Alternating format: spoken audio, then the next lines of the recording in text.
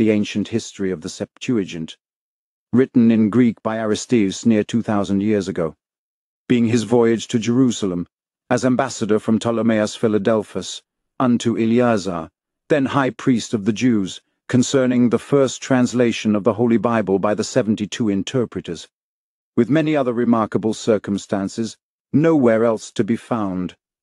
First Englished from the Greek by the learned and Reverend Dr. John Donne, late Dean of St. Paul's, now revised, and very much corrected from the original. London, printed for W. Hensman and Thomas Fox, booksellers in Westminster Hall, 1685. To the reader, although time and death, from our cradles to our graves, pursue us swiftly, and, according to the Almighty's ordinance, overtake and seize upon our frail and earthly parts, upon some sooner, upon others later.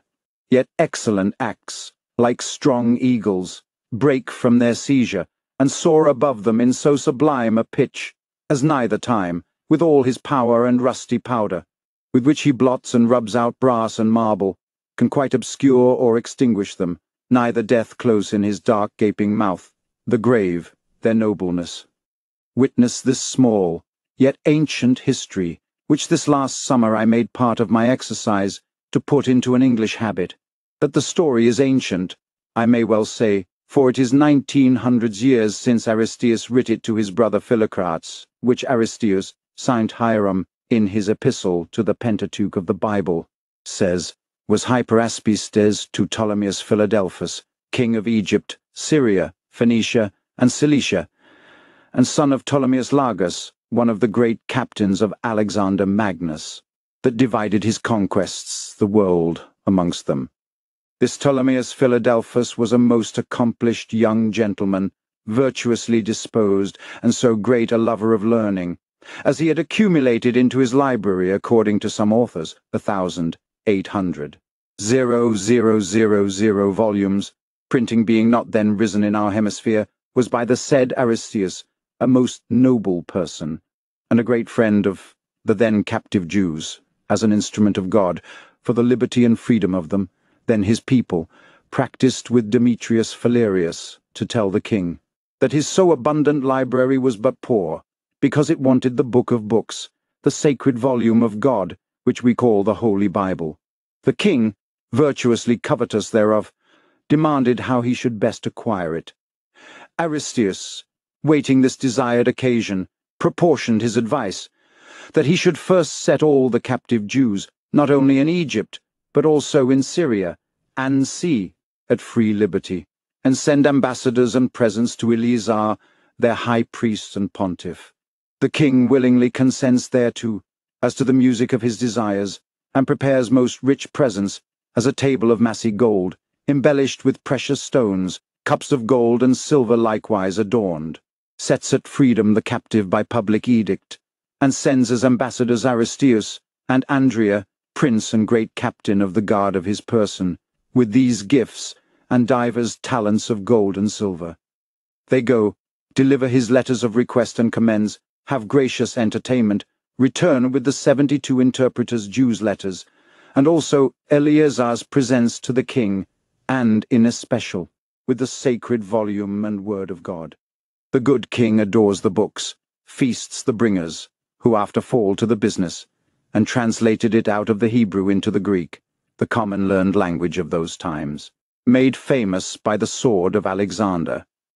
And this in brief is the effect of this venerable history, which is by me thus made yours. And though I seem to anticipate thus to you, yet it is as nothing, for in itself, as you may further see, it is elaborately and eloquently written by the said Aristeas, and let no man wonder too much thereat as thinking our times excel theirs in eloquence. No, for whoever exceeded Demosthenes the Greek, or Cicero the Latin, therein. Lastly, to speak the praise of history, libri sunt vasa memoriae, and worthy historical books have in them a kind of divine permanency, and as eminent persons should affect noble actions, so ought they to cherish the registers, as their honourers. For, Hath not Plutarch made those giant heroes, as Theseus, Romulus, Alexander, Julius Caesar, and the rest, yet live, and himself, more praisefully, longer than them all. So as an ignorant, swaggering fellow threatened his adversary to kill him if he had as many lives as Plutarch. Did not Alexander sigh for another Homer? Lastly, if I have in honour of the history, like one holding a lighted taper to the clear noon-shining sun, made an appendy, showing the antiquity and dignity of the books by the said Septuagint translated, and the excellency of their inspired writer, Moses, and have therein been too prolixous, pardon, M. E., because of the profundity and worthiness of the matter, so I refer you to that, and the re,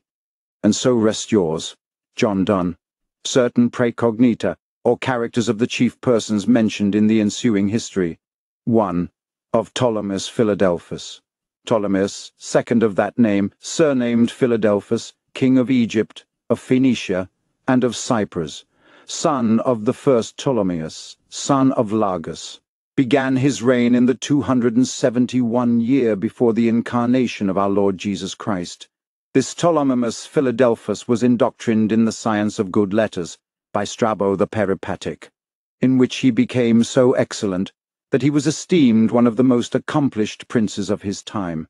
But that which was in him the most admirable was the bounty, debonairity, sweetness, and gentleness of his spirit, accommodated with the manners and complexions of all worthy and deserving persons. By this means he entered so far, and before, in the grace of all the world, that every one in his thought wished he were king. And his father, knowing his right of succession was to be so, and rejoicing in his hopes of him, made him to be crowned king, and divested himself of all authority, without reserving any power, right, or preeminence to himself, only a superintendency over the guard of the king his son, glorifying to be father of such a king, for the admiration he had of his high virtues, kindled and gave occasion between them both, of a most kind contention in mutual offices, the son yielding to the father, and the father to the son, in all, and by all, through instinct of devotion and piety, so they gave lively touches one to the other in all reducible fitting offices, which was cause that the people conceived a great fidelity and amity towards them, so as it seemed, even the divine providence prepared this noble spirit to introduce that great good amongst humanes, as to make them participants of the laws and divine illuminations wherewith God had favoured the people of the Jews above all the nations of the world. And it seemeth that even then his almightiness made a preparative for the vocation of the ethnics and Gentiles by communication so of his holy law, whereof Ptolemy was the ordained minister, to call the seventy interpreters into Egypt, to translate into the Greek language, which then was the most used and vulgar through the whole universe so as I am amazed at some fanatical spirits that hinder us from the knowledge of God, in not giving his word in the language of the people wheresoever, as is appertaining to every one in regard of salvation. I would ask those men, what language spake those dames of Rome, Paula, Eustochina, Melania, Susanna, Fabiola, Demetria, Furia, Flavia, Blasila, and others, for the institution of whom St. Hierom translated many books of Holy Scriptures out of strange tongues into Latin, which was the natural language of the said ladies. I would also know who was more wise or better inspired than St. Hierom. Further, it seems they either are, or would seem to be ignorant of the institution of the Emperor Justinian, who ordained that those who sung in the temples, that they should sing high, and so intelligible, that all the people might understand them. But to return to Ptolemy, he undertook to erect a library in the capital city of his realm, Alexandria, the charge whereof he gave to Demetrius Phalereus, a prince and an Athenian philosopher, who erected it so sumptuously that there was not the like in all the world, and it lasted until the first war of the Romans against the Alexandrians. This king had to wife Arsinoe, to whom he caused a statue to be raised, in height four cubits, of one entire stone, called a topaz, the which had been given to Bernice, the mother of Ptolemy, by a prince named Philemon. 2. Of Aristeus, the author of this history. Aristeus, the near kinsman and friend of King Ptolemus Philadelphus, is named by St. Hierom Ptolemy Hyperaspistis, the shield of the king, or he that defends the king with his shield, or bearer of the shield royal, which seems to me that he held some such place about the king his master, as we call it this day the great esquire of the king's body. He was the principal solicitor for the liberty of the Jews, that then were held slaves throughout all the dominions of Ptolemy, for he made the first request for them, and obtained it. And for this cause he was sent ambassador with Andrea, prince of the guards belonging to the king, unto Jerusalem, to deal with the high priest Eleazar, who sent to the king Ptolemaeus six doctors of every tribe to go on with the translation and version of the holy books of Moses. He writ diligently his voyage, where he shows openly how and by what course those seventy-two interpreters behaved themselves in the said books.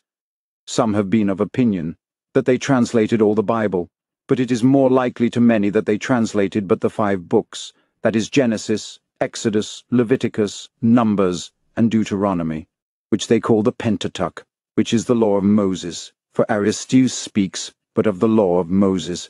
and it is not likely that they touched the books historical, nor the prophets, for if it had been so, Aristeus would not have been silent thereof. Moreover, that which they translated was finished in the space of seventy-two days, which is about two months and a half, and that's a time too small, and therefore impossible to translate all the Old Testament.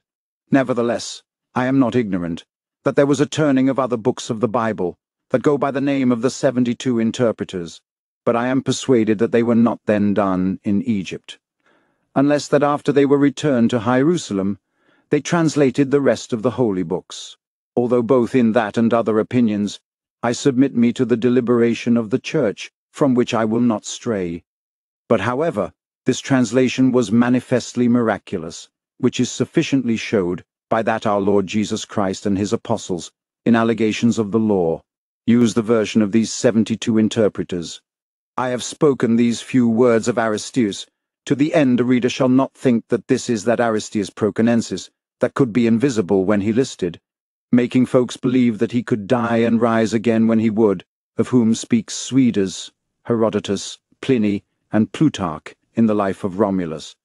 3. Of Eleazar the high priest of the Jews. Eleazar, of whom Aristeus makes mention, was brother of Simon, surnamed the Just. He, after the decease of his brother Simon, in the year of the reign of Ptolemy first of that name, 35, was made chief of the synagogue of the Jews, by reason that Onias, son of Simon his brother, was incapable of succeeding in his father's place, as being under age. This Eleazar therefore received the honour, that in his time the holy translation of the law was made by the seventy-two doctors, that he sent to Ptolemaeus, second of that name, king of Egypt, as Aristeus hath left by writing. 4. Of Demetrius Phalereus.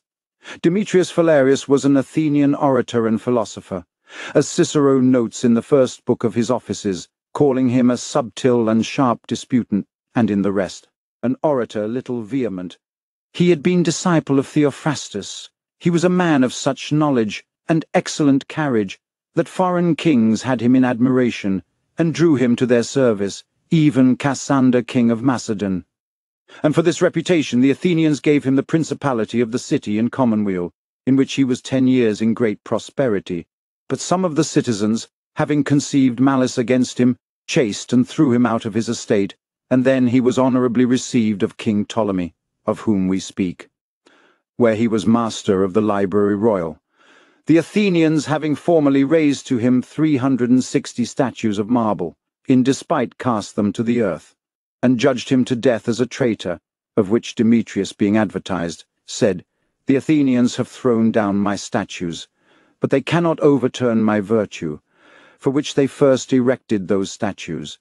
He was wont to say, that eloquence was as necessary in a common commonweal as a sword in the wars. He died by the biting of an aspic, and was buried in the region of Busina, near to Diospolis. The history of Aristeus, ambassador of King Ptolemaeus Philadelphus, treating of his voyage unto Jerusalem, and the first translation of the Holy Bible by the seventy-two elders, written in Greek nineteen hundreds years since, Aristeus to his brother Philocrates, well knowing your natural and good inclination, Philocrates, to have always had in great esteem the knowledge of all things, and that you have been desirous, and even greedy to understand the occurrences and passages of good exploits, I have deliberated to frame to you in writing a matter not only excellent in itself, but well deserving to be known, which unto us is happened, being sent of late to Eleazar, H., priest of the Jews. But because these things shall be more easy to you, I shall first declare the causes for which we were sent, and then I shall come to the progress of the matter, so as I shall shape my discourse to your understanding, and that the most truly I possibly can, as well or the dignity of the subject, as to delight your mind, desirous of all good knowledges, assuring myself that man hath in him nothing more excellent and laudable, than incessantly to desire learning, either by means of histories, or by the objects of things themselves, or by the course and experience of affairs. For the spirit of man, though rude and unfurnished, is greatly adorned and embellished, when from the beginning it delighteth to taste and relish those most nourishing, fair, worthy, and excellent things that may conduct him by an infallible course, to follow piety and right reason.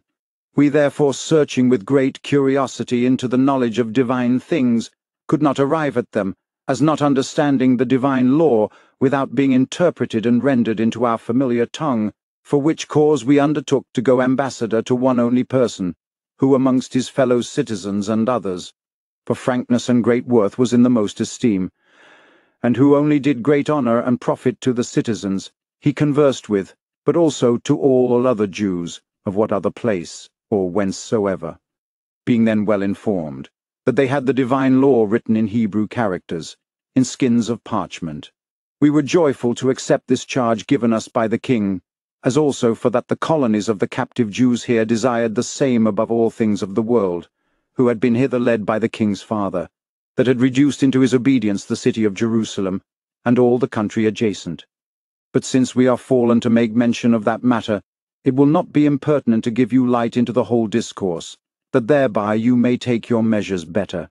knowing well that it will be more advisable carefully to inform you how to address yourself to the service of God reverently, than to travel in the search of humane laws or actions, be they never so just, which inclination you have sufficiently manifested, since from an isle so far remote you are come to this country to see those things that may serve to the cultivating of your mind, without regard to any place whatsoever. I have therefore here reduced to writing, first, what hath seemed to me worthy of memory, touching the nation of the Jews, as I have in some measure understood from the learned and wise priests of Egypt, to the end that by this means I might aid and increase by some means your knowledge, for we ought to have in remembrance what good we have received from others, and particularly to show all gratitude to those who relate to us, and principally you, who have knowledge of virtue, deriving from your brother, not only resemblance, proximity of blood, and lineage, but those, those principles that excite you with the same impetuosity of courage to attain the honour, glory, and beauty of virtue, assuring myself that neither the admiration of gold or riches, nor the appearance of any things more precious, conduce to anything but vainglory, neither will they yield you any such fruit as we may gather from knowledge, education, and consideration of good discipline. For the rest, to the end it may not seem that we make show of ostentation in being prolix in this preface, we will return to our purpose, from whence we have wandered. Demetrius Phalereus, master of the king's library, after the best care he could, giving order to purchase books from all parts of the world, and employing for that purpose great numbers of persons, as factors, dispersed in many places, who had in charge to buy and transcribe them, they so doing, and that with diligence, the design of the king was accomplished and executed, at least in the best manner that was possible. For the king asking him, in our presence, how many thousand volumes he had collected for his library, he answered, For the present he had no more than two hundred thousand, and he hoped ever long to have to the number of five hundred thousand. But, sir, said he, I have understood that the laws of the Jews deserve to be copied and translated, and to have place in your library, and what hinders it, answered the king, that they be not. Have you not all things to serve you convenient for that purpose? Demetrius answered, that it was necessary that those laws should be translated and interpreted, because the Jews had in use a character peculiar to their language, far different from the Egyptians, adjusting and accommodating their letters to the tone of the voice, and that they were much deceived.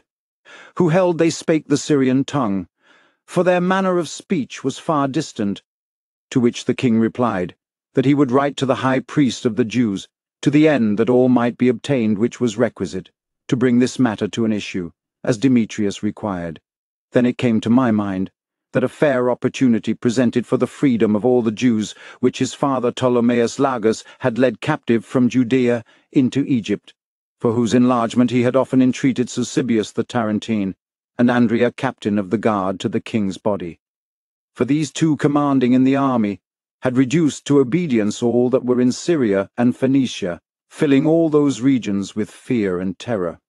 And then were the Jews some of them led prisoners, others disposed in manner of colonies, in such numbers, as there were brought into Egypt to the number of one hundred thousand men, of whom were chosen well near thirty thousand effective, who were established as the guard of the province. True it is, before that time many had been sent with the Persians and other companies that were commanded against the K. Of Ethiopia under the leading of Psammiticha, but those that were there were not of so great number as those which were led away only by Ptolemus Lagus for, as we have said, he trained to arms all those whom age or ability showed to be proper, and all the rest of the people, as well children, as old men and women, he made use of for colonies, determining with himself that if at any time his men of war grew insolent because none could surpass them in course or necessity of war, he had means to check their presumption by such as might be drawn from these colonies, now then, seeking an occasion to bring about the liberty of these poor men, as I have formerly said, and having found my opportunity, I open my desire to the king, proposing after this manner the proposition of Aristeus to King Ptolemus Philadelphus for the delivery of the Jews. It is nothing strange, my gracious lord and sovereign, if many times it happen, that those very affairs which we manage thwart and run counter to our proceedings. For all the nations of the Jews have one and the same law, which we desire to be ours, not only copied, but also translated into the Greek tongue.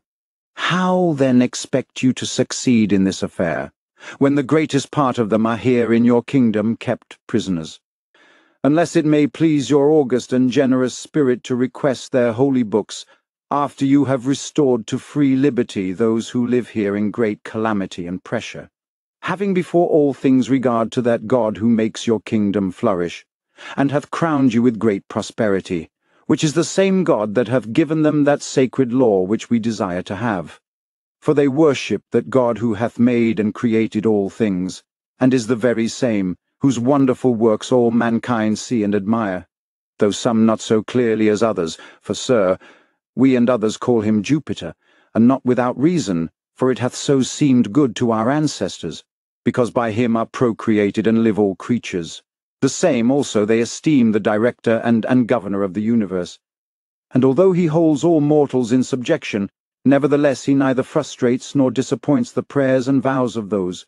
who, illuminated with spiritual light, implore his aid. We then ought humbly to desire that he would incline our hearts to such good resolutions as to do good, and that freely to every one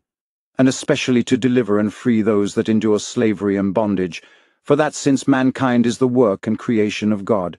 who hath power to turn the heart and bend it which way it pleaseth him, we many times after different methods desire, it would please him to lead us to a perfection of goodness, as the principal ruler of all hearts and spirits. By this acknowledgment, I conceive great hopes to consummate this affair, principally, because I know God to be favourable to those that pray for things reasonable and equitable. For when men set themselves wholly to seek and accomplish what hath a tendency to justice and perfection of goodness, God the Lord of all things conducts and addresseth their actions and affections to blessed and happy effects and ends. The king, then as something gained, with a contented countenance said to Andrea, How many are there of the Jews detained captive? He answered in few words, more than one hundred thousand. It is a small request, then said the king, Aristeus requires of us, Sosibius and some others then there present answered. It is a thing, sir, worthy your grandeur and generosity, to make an agreeable present to God by their deliverance, in testification of your thanks and acknowledgment, And since the governor of heaven and earth hath raised you to a greater height than all your predecessors, it is but just that you make thus a greater and more solemn expression of your thanks. The king then disposed to banqueting and pastimes in a full feast, and assembly of his nobles, commanded that the Jews should be all searched out, and that every man of them should be redeemed for the sum of twenty drachms by poll, and to confirm the same, that his edicts should be issued and that here in all the dispatch and readiness should be expressed that was possible.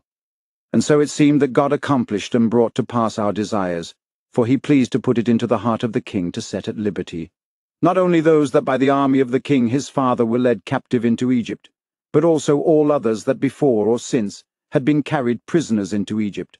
By what means soever, the sum then of those that were freed amounted to four hundred talents. Moreover, I hold it not beside my purpose to send you the copy and tenor of the edict, whereby you may understand the greatness of the attempt, and the frankness and gracious inclinations of the king, who hath been moved by the goodness of God for the salvation of many, the edict of King Ptolemais Philadelphus for the delivery of the Jews. We will, and command all those that took up arms under our deceased father, through the country of Syria and Phoenicia, entering the land of Judea, and there taking the Jews and leading them prisoners, having imposed them their tasks and employments in town and country, that they shall deliver and restore them to full liberty. Moreover, we will that all the Jews that either before or since have been taken and led away, in what fashion or manner soever, shall be delivered frank and free, for the ransom we have set, that is to say, twenty drachms for every head, which sum the men of war shall receive from the fond of the staple and stores of victuals, and the rest shall be received from the allowance of the king's table, or be reserved. For we are duly informed that those Jews were appointed and led away prisoners against the will of our deceased father, and against right reason, and that by the boldness and insolence of the men of war they were carried into Egypt, and their country wasted and laid desolate, when it was sufficient to have the men of war of the said country under their power, and all the province reduced to obedience, intending then to do and render right to every one universally, and especially to those who receive injury from the unjust power of others. Moreover, to search diligently and particularly into all things that concern right and equity, and to prefer piety and religion before all things. Our will and pleasure is, that all Jews whatsoever, being bond and slaves within this realm, in what part soever they be found, be it in the colonies or elsewhere, or be it in whatsoever manner they were brought into our kingdom, shall be delivered, enfranchised, and set at liberty, for we are pleased it shall be so done, and to the end that no person shall be interested, or receive damage, we command that three days after the publication of this present edict, every one whom it doth concern shall bring before us their requests containing the number of heads that every one hath set at liberty. For so it pleaseth us to have it, for the profit of us, and our kingdom, declaring further, that the goods of those who are not obedient to this our edict shall be forfeited and confiscate. And we give liberty to whosoever will, to accuse and inform against their contumacy or contempt of our will and pleasure. This edict being written, completed, and brought to the king, to know if his pleasure were it should be published in this manner, or that he would correct, and so approve it. When he perceived that these words, viz., and those that before and since had been led prisoners, were wanting, he inserted them out of his goodness and bounty. He then made the of money presently to be doubled to his treasurer and officers of his finances, which distribution was dispatched in the space of seven days, and there was defrayed well near six hundred and sixty thousand talents, for there were found a great number of children with their mothers, who were all set at liberty, and for every head of theirs was paid by the king's command twenty drachms, which was discharged by the king, to his great content and satisfaction. After all was done, he commanded Demetrius, by course of estate, to deliver him the number of the Hebrew volumes. For with these kings it is in use to comprise all things in edicts, and to signify nothing, be it never so small a business without writing, as well for greater state and ceremony, as also that belief may more certainly be given thereto. Therefore to the end you may, as it were, have all before your eyes, I will here insert the tenor and copy of the request made to the king by Demetrius, and the epistles which were sent for those that were franchised, so as you may see the number, and of what quality they were, and according to the trades and professions by which they were distinguished, and how they were registered and enrolled. The copy of Demetrius, his request to the king, was this. The request of Demetrius Phalereus to the king Ptolemaeus Philadelphus. Great sir, since it hath pleased you to give me command to search in all places for all manner of books, to replenish and adorn your library, I have thought it fit and necessary that we procure and get the books of the Jewish laws, and some others, that we are yet wanting and unfurnished of. And because the said books of the Jews are written in Hebrew characters, peculiar and best known to the Jews alone, and therefore not yet fall into your royal hands, nevertheless, that they may be gained and ranked amongst your other volumes, partly for the wisdom contained therein, partly for their sublimity and divine height of matter, of which poets and historians make often mention, as very profitable to instruct to good manners, to form and address the republic into the fairest shape of government, by reason of the dignity of men therein mentioned, the dignity of matters therein treated, as Hecataeus Abderita plainly testifieth. These things seriously considered, great king, it would do well, may it please you to write to Jerusalem, and to the high priest there, that he would send you six men of every tribe or line, and that they be such as are of good parts and quality, of venerable age, best acquainted and versed in their own law, that being all able translators, they may with judgment choicely select and cull that course of expression which may be of a piece and harmoniously agreeing amongst themselves. And this done, great sir, shall hope you may accomplish a course worthy of so excellent a design, and at last suiting well with, with your desire. The king, having read this request, ordered letters should be drawn and sent to Eleazar the high priest about this matter, in which was signified to him the deliverance of the Jews from their captivity. With the letter, he ordained also to be made ready cups, vessels, and a table of pure gold, with fifty talents of gold, and seventy per cent of silver, for oblations there to be offered with many precious jewels and stones of very great value, commanding the goldsmiths to finish these things with all speed, and the money and talents for the oblations to be raised forthwith. And because you shall at large understand the king alacrity in this affair, I send you here the copy of the letter the king writ, whereof the tenor is as followeth. King Ptolemaeus Philadelphus to Eleazar, high priest of the Jews, considering the great multitude of Jews inhabiting within our territories, of whom some have been led from Jerusalem in the times when the Persians had the power, and others followed our deceased most honourable lord and father, being joined with him, whereof many were received into his pay, and ranked as his soldiers, and military men, the most faithful and trusty of which were established in the strongest forts for garrisons, by that means to curb the insolences of the Egyptians. We since being come to the crown, and having singular inclinations to exercise liberality and munificence towards all persons, and particularly to the citizens, have enfranchised and set at liberty more than a hundred thousand, ordaining that out of our money a just ransom should be paid to all those that held them prisoners, valuing every head at a certain rate, as desiring to govern with reason, and to restore them to peace and tranquillity, whom the impetuosity, cruelty, and disorder of war hath disturbed and diverted from right and equity, in which we think to have done a good and pious act, and a work grateful to the great God for all the great favours received of his hands, making him this offering, for having signalized above all the world this our kingdom with a most flourishing peace, tranquillity, and eminent renown. And such others as have been slaves and bondmen in our army, we have appointed soldiers in our militia, and those that have been found more worthy for their faith and fidelity, we have made commanders, and preferred them to our court.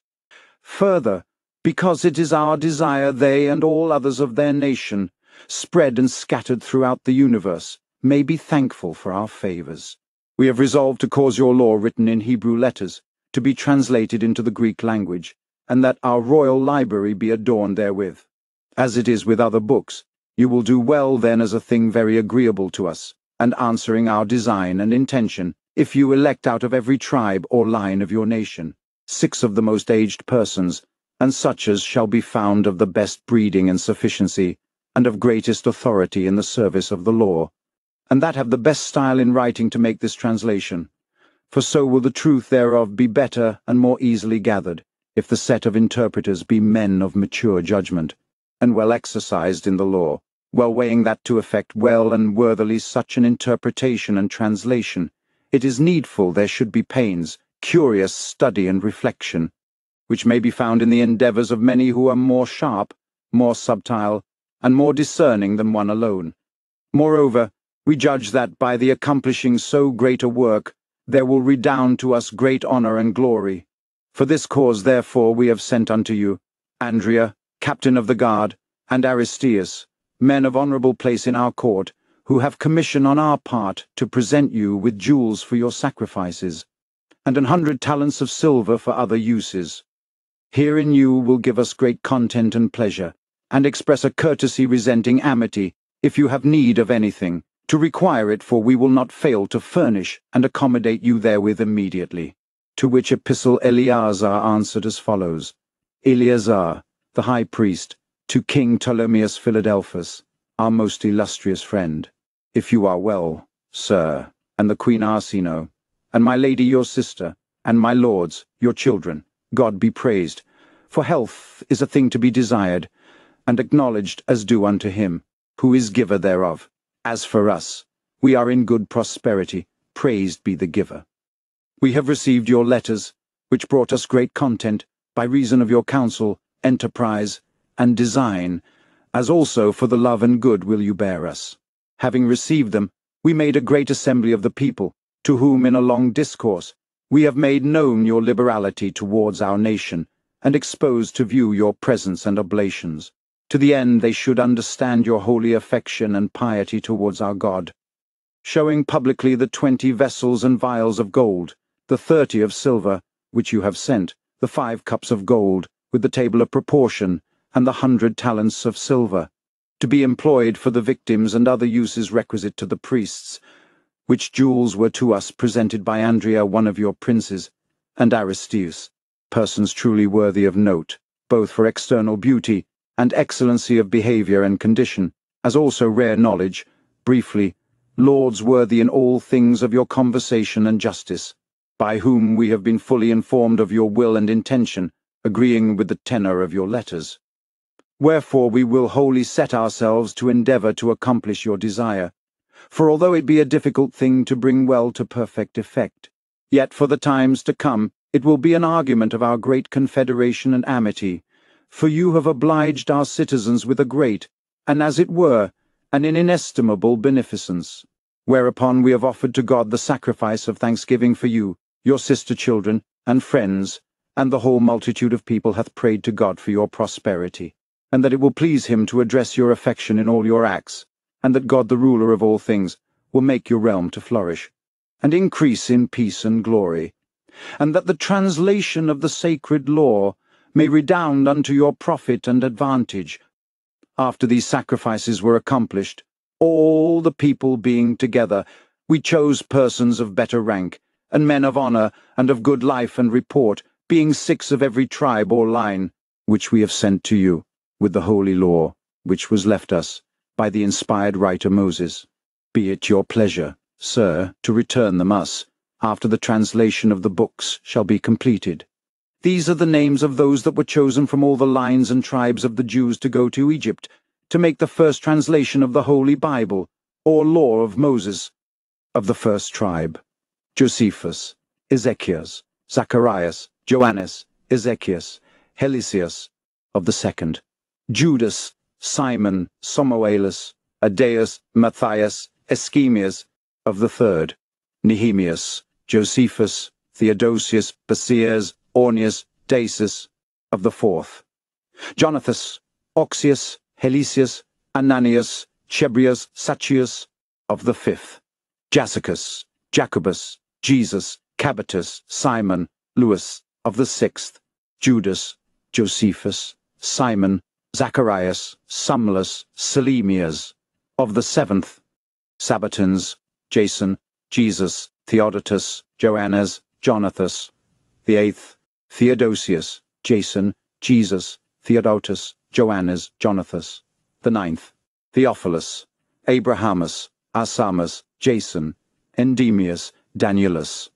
The tenth, Hieremias, Eleazarus, Zacharias, Banias, Helicius, Dethius. The eleventh, Samuel, Josephus, Judas, Jothas, Chabel, Dositheus. The twelfth, Esilas, Joannes, Theodosius, Asamanus, Abiethas, Azesalus, number of all seventy-two. Such was the answer to the letters of the king. Now I will declare to you the most succinctly I can possible the beauty and workmanship of the things we found in Jerusalem, being with Eleazar, and those also which were sent to him, for all was wrought with singular art, and of most exquisite beauty, the king being therein so careful and intent to perform abundantly all that was necessary for finishing so extraordinary work, that of his own proper motion he went and came, visiting every one of the master workmen and goldsmiths, whom he kept so close to their business, that he permitted them no idle time for sport or debauches. Of the presents sent unto Eleazar, chief priest of the Jews, by King Ptolemaeus Philadelphus. And first of the table of gold. It behoveth then that first we describe the table, for it was a work of admirable lustre, the king desiring to show therein a masterpiece of work. Wherefore he demanded the measure and dimension of the table which was in the temple of Jerusalem, and the ornaments of the same. When he knew the measure, he asked if they would receive a greater, and being answered by some of the priests and others, if there were no let, a greater might have place there. The king then replied, that he intended to give one five times bigger than that was there, provided that might not be inconvenient for the priests by its disproportionable quantity. Further, consideration ought not only to be had of the receipt and capacity of the place, but also of its accommodation to the sacrifices thereon to be prepared,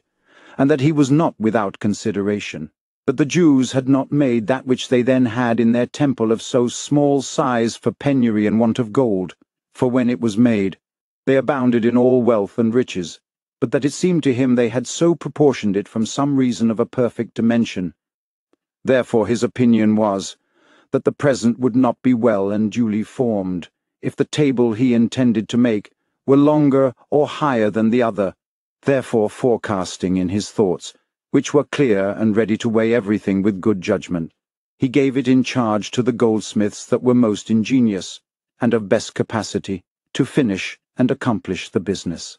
Engraven and adorned with all possible variety, commanding that those who wrought in the borders, raisings, floweries, wrappings, entortelations, and such like, should amuse themselves only for beautifying and decoration, and what was to be plain should answer to the measure and dimension, and that in all these things they should be exquisitely careful. This table was two cubits large, and a cubit and a half in height, nor are you to think it was covered with plates of gold superficially, for it was made all of solid, massy, pure, and fine gold. Round about it was a crown of twelve fingers large, wrapped with bars of gold and other pretty works in fair passages, in manner of little threads, and interlaced with little cords retiring to the canitils, a work very shining, and polished of the three sides, for the table was made in a triangular form and on every side wrought of the same fashion, so that on what side soever one stood, it appeared to be but one frontispiece and one face. For if you came to behold it on one side, the plane of the table by the crown with which it was bordered, discovered to your eyes a most resplendent beauty very admirable. And the outward work with the rays and splendour of the two squares so dazzled the eyes that one could scarce behold it, for the table, as we have said, was triangular and showed with one and the same front and superficies on which side soever you turned. It was also enchased with precious stones fastened by golden buttons tied with loops, and these stones were wrought so naturally within one another that they showed a string and wreathing of such subtlety, that to anyone's thinking it was not possible to be imitated. And those stones were supported and stayed by buckles and clasps of gold for more firmness, and the joints and connextures of squares made with so great art knit and interwoven one within another, to keep sure and join all the work, that in beholding them the art was scarce discernible. Moreover, in the great compass of the crown that environed the table by the aspect above, there was a row of stones in fashion of little ovals that were riveted, and locked together, and filed with little wreaths of gold which raised the lustre. And these oval stones were thick set the one with the other, and the whole table was as it were encircled with this thread of ovals. A little above this chain of wreathed stones the master goldsmiths had laboured a girdle of flowers, and clusters of all fruits, interlaced and following together so well, that by their eminent risings amongst the bosses of the encircling crown, you might see grapes clustered together, ears of corn, dates, apples, olives, roses, and many such like, amongst which many precious stones set and wrought in gold in their colour and form, in their true and natural resemblance, representing those fruits with admirable art.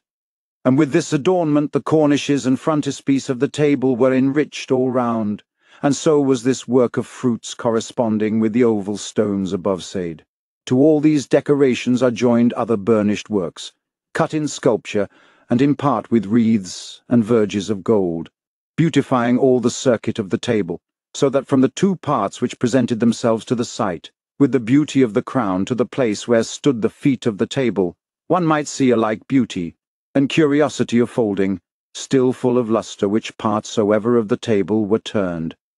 They made the plate of all the table solid and massy, of the thickness of four fingers, to the end that they might more firmly and fixedly bind in the feet and trestles to support it strongly. These feet were fastened to the crown without being perceived how, and were firmly joined with buckles and clasps,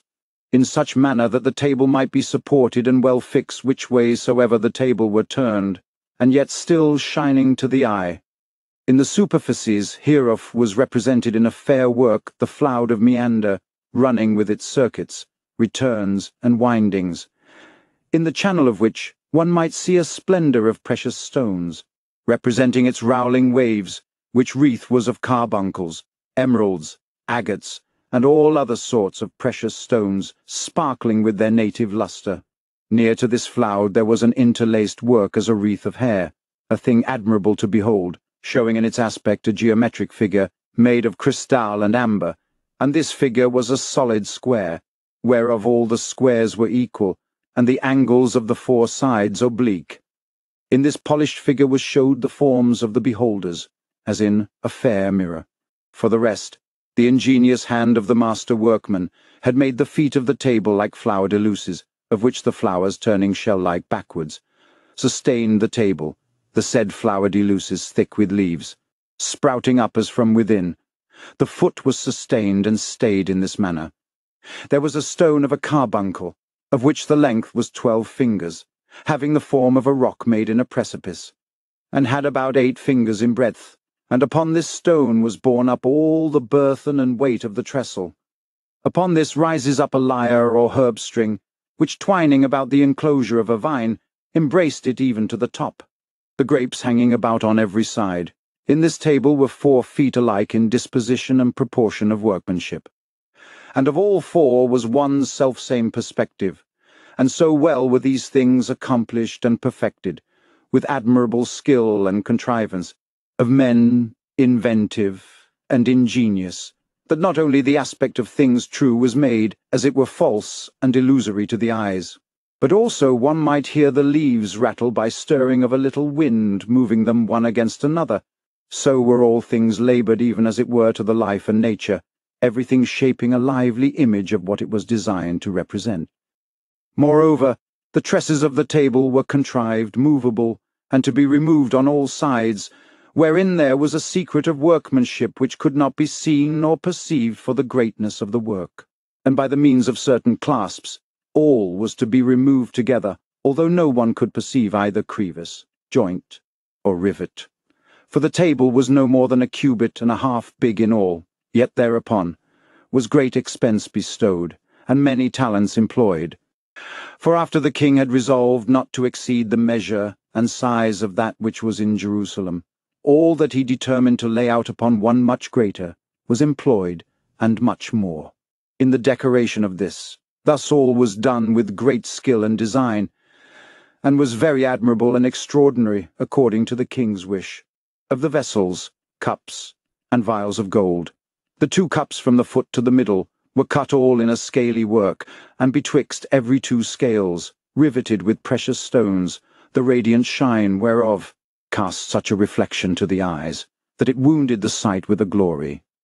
The tower of these cups was girt with a sculpture of the flood of Meander, of the height of a cubit, all encompassed and interlaced with variety of stones, of inestimable beauty and value. Near the flood there was a tress of hairs of gold, with tufts joined together from the bowl above to the bottom,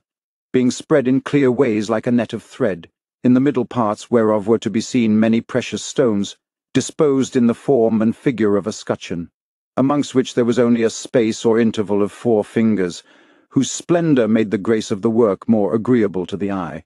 Upon the lips and border of the cups there was a crown interlaced with flower de luces, bunches of grapes, intermixed one with another, and wreathed like cordage, and so running round.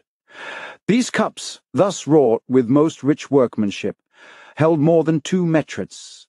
but the tankards of silver were yet adorned and decorated with much more beauty, in full work and polish, for within they were so resplendent that one might see all things more to the life than in a mirror, and it is not possible to tell how the figures of all things were represented to the life, by the polish and sparkling brightness of them, which were so radiant and shining, that if you set one of the silver cups by one of the gold, then one of the silver, and so one of gold, and so followed this method. They made an admirable show, and impossible to be long looked on, for they cast such a lightning from one side to another, with rays penetrating one another's lustre, that it even dazzled and reverberated the point of the sight, so that no soul was long able to behold them, for if you turned your eyes to a cup of gold, they were so encountered with the order and splendour of the work's variety, and with the force of the light and flaming, which would so strike the point of the sight, that you could hardly hold them from twinkling, so as you would be forced to turn them elsewhere, or not too steadily to behold their lightning. And if you looked upon one of silver, a greater effusion of light was shed abroad, so that your eyes seized with dimness, you were not able to discern thoroughly the, the structure and art. For the vessels and vials of gold, they were wrought with such design, that the middles were adorned with clusters of grapes, the verges and lips with bunches and encirclings of leaves of myrrh and olives, wreathed together in fashion of a crown, about all the mouth parts, and all set with precious stones, agreeing with the spaces and convenience of the distances, so as, I assure you, the master workmen had expressed their art in embellishing and adorning everything, with an ambitious desire to grace the design, and to exalt the magnificence of the king, so that in all the treasures, nor in all the cabinets, nor what other things soever, was not to be found anything so rich, so fair, or so precious, as were these royal works. For the king, who had a tender regard of his honour, there had employed all care and diligence, and prodigally lavished his magnificence, for of his own accord he came often to visit the works, conversing and mingling his advice with the master goldsmiths, making them change, now this, now that, according to his liking. Likewise he forbade them expressly, to stir from their business, till all were finished and completed according to his mind, so that all was perfected with great art in a most extraordinary manner, as well for a testimony of his illustrious excellence and degree, as also for the dignity of the high priest, who was of so honourable a character, for whom these things were intended. Of great value was the multitude of stones, of which some were so rare as that they are scarce known, yet being of marvellous greatness, they amounted to the number of five thousand. And yet, for all that, the art was of greater value than the stones, and all being valued together. It plainly appeared that both precious stones and curious workmanship exceeded five times the gold therein employed, both in beauty and value. In fine, I hope what I have already written may yield you some delight in knowing these rare and curious things, and the true love and ingenious goodness of the king therein. Now that which follows will set forth the discourse of our journey to Eleazar. And because you may at large understand all circumstances, I will describe to you first the province, or city of Jerusalem, and then the country round it. Of the city of Jerusalem, and the country round it. When we arrived near to Jerusalem, we discovered the town, situate on the mountain, in the midst of the province of Judea, opening thereby a far extended prospect to the view. On the top of the hill is situate the temple, of a most graceful figure, and aspect, and very fair to the eye. About the same is a girdle of three tier of walls raised to the height of seventy cubits, and of convenient thickness in proportion to the height, which encompass all the temple with an excellent beauty and magnificent work. The sight of the gates, the knitting and evenness of the stones, the frontispieces and buttresses, the faces of the portals represent a beauty with great lustre and excellency of workmanship, and one might plainly see that in all this structure there was a rich abundance of all things, and that no expense had been wanting. Without the, the temple, there was a veil by which the temple was closed. Round this veil was hanged Travers from the magnificence of the portals, yielding a very pleasing spectacle, and principally then, when a little wind rose from the pavement, and entering within the veil, ran from low to high, making undulations and billows like waves, and moving delightfully with gales following one another, reciprocally in successive blowing. Within the temple there was an altar accompanied with a chimney very properly and conveniently built, accommodate to the place for the victims there to be offered. The stairs to ascend thither were fair and evenly disposed, agreeable to the magnificence of the place, both for comeliness as for the ease of the priests, who were invested with garments of linen very delicate and soft. The forepart of the temple looking to the east turns the back of it to the west, and the spaces thereof are adjusted with exact proportion, in all dimension and show a beauty very excellent, and work of good grace. The floor is paved with stones, the receptacles of the waters which issue in great quantity for the use of washing the victims after they have slain them, are hid in convenient places, for in their festival days many thousands of victims are offered, by means whereof is furnished out so great a quantity of water, that one would judge there issued commonly a considerable spring. But this is a thing yet more admirable, and almost incredible, the greatness of the conveyances of these waters which are underground in the temple, and stretch five furlongs in circuit. And to conduct these waters into their receptacles, there are pipes of lead closed within the walls, drawing in all parts under the pavement of the temple, by which the waters void themselves after the beasts are washed. Likewise many spouts and openings near to the foot of the altar, which are unknown to all, but only those who serve the sacrifices, and by these too the blood of the offerings in like manner is cleansed and carried off. We guess the great quantity of waters there shed by this means. The Jews having led us to walk out of the town more than a league long, they showed us a place where we might hear the report of the waters that ran under the earth, which seemed to me to be such, as when one voids water by whole tons, of the priests. But all that is past was as nothing in respect of the worth, honesty, and silence of the priests and their services. For without any difficulty they composed themselves to their business, every one according to his degree and charge, without staying for orders, some kindling the wood, others the oil, some bring the wheat flour, others the aromatic odours, others the flesh, every one showing his obedience with an admirable dexterity. For taking the calves by the thighs, though they weighed more than two talents, they lifted them on high, with an admirable speed, and not more handsomely than easily, in such a sort, as they never failed to fix them at first in as good order as they were to continue. They did the same with the fardels of sheep and goats, for all offerings and victims were to be without spot and fat. Moreover, there was a place prepared for their repose, where they all lay, and rose most willingly and diligently, without being called or waked, and so applied themselves to their business in their order, one after another, but all with so great silence, that although they were ordinarily about seven hundred Levites, without reckoning a great troop of those that offered the victims,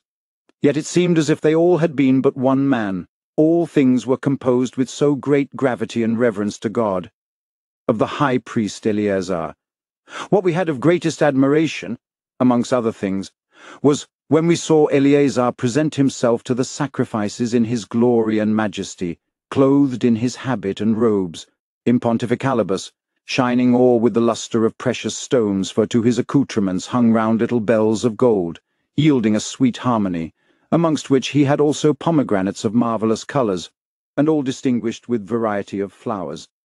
Upon this vestment he wore a girdle, which girt him very comely, and the work was of very fair colours. Beneath his breast hung what they call the rational, wherein there was twelve precious stones of divers colours set in gold. In which were inscribed the names of the princes of each tribe which had been the beginning,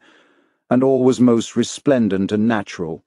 almost beyond belief. His head was adorned with a royal bonnet, upon which was set a mitre of incomparable beauty, exalting the coif to a majestic state.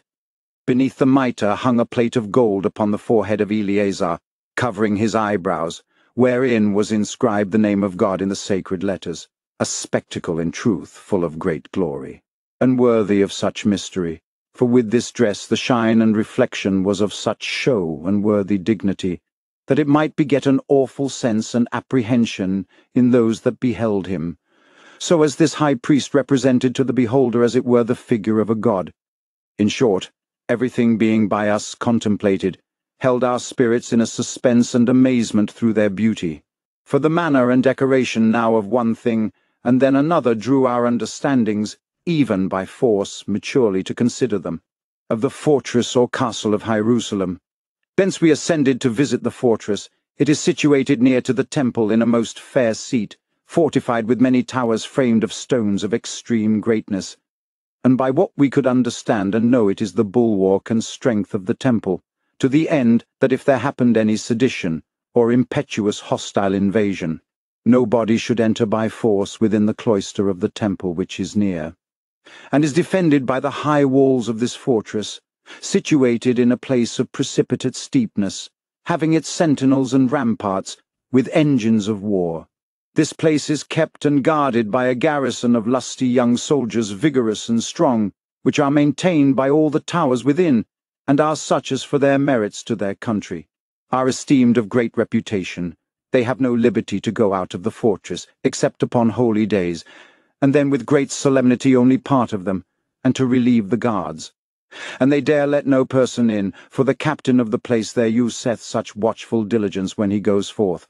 and amongst them makes such watch and diligent search, that he cannot be circumvented by any spy, as it happened to us, for but two of us could get admittance, and that without arms and by great entreaties, and only to see the sacrifices. For he told us, and that with an oath, that all those who are of this garrison, which are in number five hundred, have sworn to admit, but at most five persons at a time, because the conservation and safety of the temple consists in the keeping of this fort which if it should be taken and kept, the temple had no other security, of the town.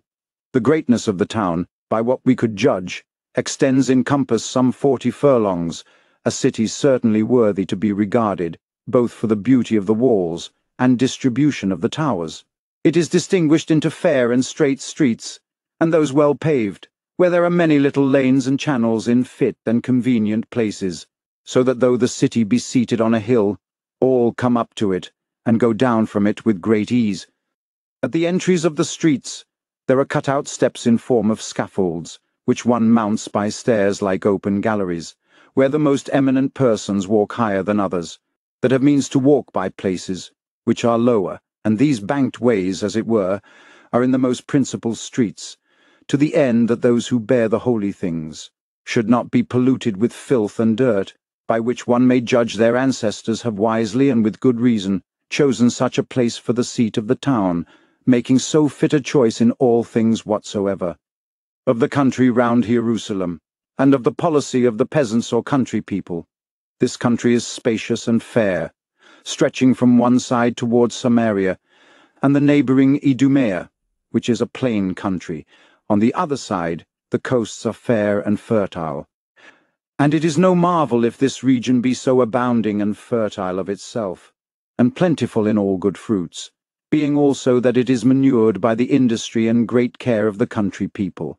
And it is not here, as it is commonly seen about good and fertile lands, where the peasants are idle, careless, and for the abounding pleasures and voluptuousness of cities, despise their labours, and according as we see youth is taken with delights and idleness, become effeminate and tender. Which truly happened to Alexandria, a city rich, wealthy, and abounding in all good things, where the youth of the country that used to follow country works, diverting and amusing their rough condition with the pleasures and ease of a delicious life, forget their country business and labour, and became idle and slothful. And for such reasons, doubtless, their Jewish kings ordained that these peasants should make no stay in the city, and that no one of them should dwell anywhere but in his country farm longer than twenty days, and that, unless for urgent and important reasons, because they should not lose their time. For which reasons it was ordained that all processes and controversies of lawsuits should be determined in five days, and never depend longer. And for this was published a law, and the reason thereof delegated to the judges and ministers of every country, that the peasants should not sojourn or make abode in the towns, as is said, because of the demurs of their suits, neglecting their country business, which might cause damage and loss to the revenues of their prince, diminishing his tributes and dues, arising from these labourers. I am the larger upon this, because we had advice hereof in discoursing with Eleazar. The peasants therefore are very careful and diligent in their labours and menagerie, by reason whereof in such a multitude of people the region is planted all with fruit trees, abounding everywhere in corn and all sorts of grain, the vineyards clothed with vines, nor is it possible to tell the number of palm trees, olive trees, fig trees, besides pastures for the raising of cattle, which they breed up in great numbers, so as they have not only all place, as it were, of choice for this purpose, but also a provident care still to dispose it for the reception and entertainment of so great a number of people, nor have they appointed this course for the villages, but that thereby they might fully furnish and beautify their towns. Besides, there comes abundance of aromatic drugs, of gold, and precious stones to them from Arabia. For this province opens, as it were, a fair or general market, to all round about for traffic and commerce. The city is full of tradesmen, having no want of anything that may be brought by sea for it is accommodated by the neighbourhood of the ports of Ascalon, of Japhet, of Gaza, and of Acre, cities founded by their kings for this purpose of accommodation, and those cities we have named are a great convenience to this town, as not being too near nor too re-mote, so as it is very easy to have all things necessary in a short time, with assurance of the ways to the comers, and the country is washed throughout by the river Jordan, whose water never fails. This river, having its source from the east, runs no less than sixty thousand paces, in the best and most fertile countries on the banks of this river, heretofore inhabited, and conquered those valiant troops of Jews, who in their times conquered the country, and passed this river, being in number more than six hundred thousand. This Jordan swells and increaseth in the summer, and overflows the neighbouring fields like the Nile, covering a great part of the ground and then falls into another river by Acre, both which empty at once into the sea. There are many other streams that bend their course towards Gaza and Azota, that have their turnings and windings through all the whole province. The force, strength, and assurance of this region consists in places inaccessible, and difficult to come at, and so unnaturally strong, for all the country is environed with mountains, rocks, and precipices cut straight down as it were with a plummet, in other parts, it is enclosed with rivers and currents, so as the valleys and the plains are fortified with great ditches and trenches. On the other side, the ways are so narrow and troublesome, with turnings and windings,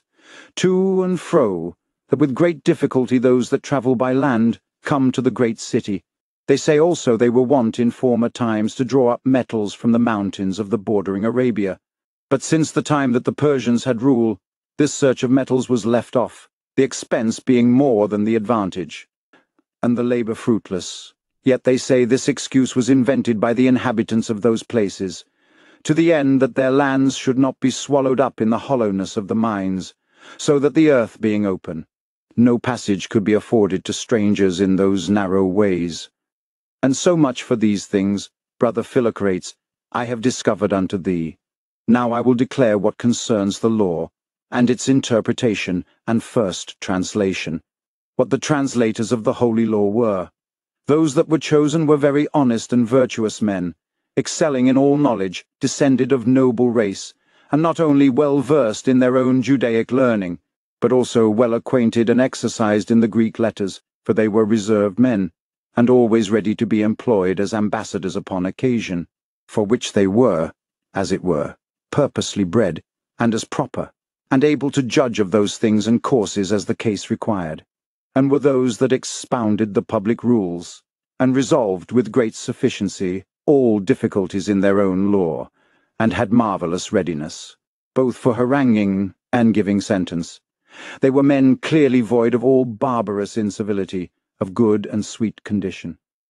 and born as it were to follow their proper manner of living and estate in a mediocrity and most commendable modesty, still striving above all things to exceed all others in wisdom and good knowledges, and in these endeavours consisted all their study, esteeming no search more than how to excel one the other in accessible graciousness, and sweetness of hearing and answering, so that every one of them were esteemed of in their tribe, as men worthy to have preeminence and principality for the virtue that was in them. And it is worth the noting in what honour they held Eleazar, and in what respect he held them. For besides that he writ to the king to take care for their convenient return, he recommended with a passionate desire and tender affection these reverend persons to Andrea, desiring with many entreaties and requests that we should, with our credits and grace with the king, open them a fair access. To which we made answer, that as these things were matters of our special charge, so we should be careful to discharge ourselves answerably with all due care, wherefore we desired he would be at ease in that point, for they should therein be absolutely free.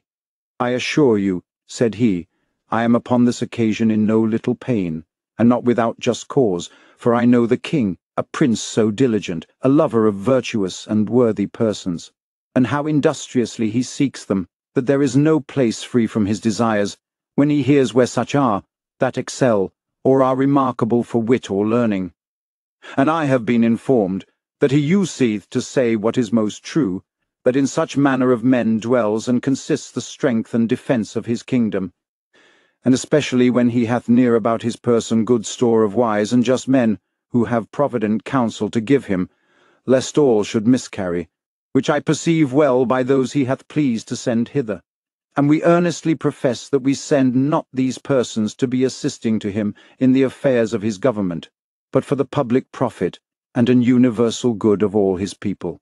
in which regard nothing ought to be refused, nothing that we will not endure. For though the form of well-living consists in the observation and accomplishment of moral precepts and constitutions, Nevertheless, it is better learned and taught by the knowledge and experience of the things themselves, than in the abstracted nakedness of words. By this speech and such like, we came to know what great affection Eleazar did bear to these persons, of the answers made by Eleazar, upon certain points of the law of Moses. It behoveth also, we touch briefly the answers Eleazar made us to our questions. For knowing the Jews with great nicety esteem the observances and differences of meats and drinks, according to their law, and that of certain beasts. They esteem some unclean and infected. We therefore inquired, saying, Since all things are of one and the same creation, and receive one and the same substance, whence is it that some are rejected as infectious, as well to eat as to touch, so that, as it should seem, the law treateth more magisterially than rationally, Eleazar then answered, You know not, said he, what force and virtue custom hath as to well living, and what alterations and changes she brings in humane affairs. See we not that those who converse with the evil let themselves loose to a course of corruption in manners, whereby they become wretched all their lives after? On the contrary, those that accustom and habituate themselves with the wise and intelligent, although they are yet ignorant, change from good to better, and become happy and fortunate, which our lawmaker considering, resolving all his laws into piety and justice, he hath not only taught us all we ought to do by words, but expressed all by instances, and forbidding us to do evil, hath set before our eyes the causes why God hath created everything. First, he hath taught that God is one and all, by the power of whom all things are governed and subsist, and that he is present in all places, and without whom nothing can remain in its being, be it never so little, and that nothing can be hidden from him, whatsoever men do upon earth never so secretly, even what men do and think within themselves, or what they plod and contract one with another. All is to him notorious and naked before his eyes. For he sees the things to come, as if they were present. Moreover, he out of his gracious goodness teacheth us, that when any one sets himself to work evil, he may assure himself it cannot be hidden, and proposes thus by all the law, no other thing than to show the power and strength of our good God. Being then heedful of the beginning of these things, he showeth, that other people who have opinion that there are many gods are themselves more powerful than the gods they by folly adore. For they affirm foolishly that the images and resemblances they frame of stone, or of wood, are the representations and shapes of those who have brought to light by their inventions some advantages to the civil affairs of life, and these they worship, prostrating themselves on their knees before them. But they are out of their right wits, and indeed out of themselves, and if one demand of them what are their inventions, they allege something produced from nature, as if it were indeed a thing produced, created, and composed by the foresaid inventors, although they never contributed thereto, in which they sufficiently manifest their perverseness and stupidity. For it is well known that if there be question of any good invention, that there may be found at this day persons more learned, more subtle, and more quick to invent any art than they have done, who have been in times past, yet they are not therefore adored as gods, although the sage Greeks esteemed such inventors worthy of honour. What shall I speak of the Egyptians and their neighbours, who are herein madder than the others, for these have some of them brought in divine worship to brute beasts, others unto reptiles, out of common reason, and all understanding, making sacrifices to the living and dead, immolating to them victims. Wherefore the wise and understanding lawmaker, being instituted of God in the knowledge of all things, hath hedged us in, and fortified us round as it were with a trench and palisado, and distinguished us with a wall of iron, to the end that being innocent in soul and pure in body, we might not mingle ourselves in any sort with other nations, and that rejecting all fond and vain opinions, we might adore one only God, who hath power above all creatures. For this, the priests of the Egyptians, princes of the people, although they fail in other things, name us men of God, and agree with us in many things, because other people have not this religion to adore one only God, according to the truth as we do. For others give themselves over to gormandizings and drunkenness, building upon shadows, amusing themselves with no other things but pleasures and belly cheer.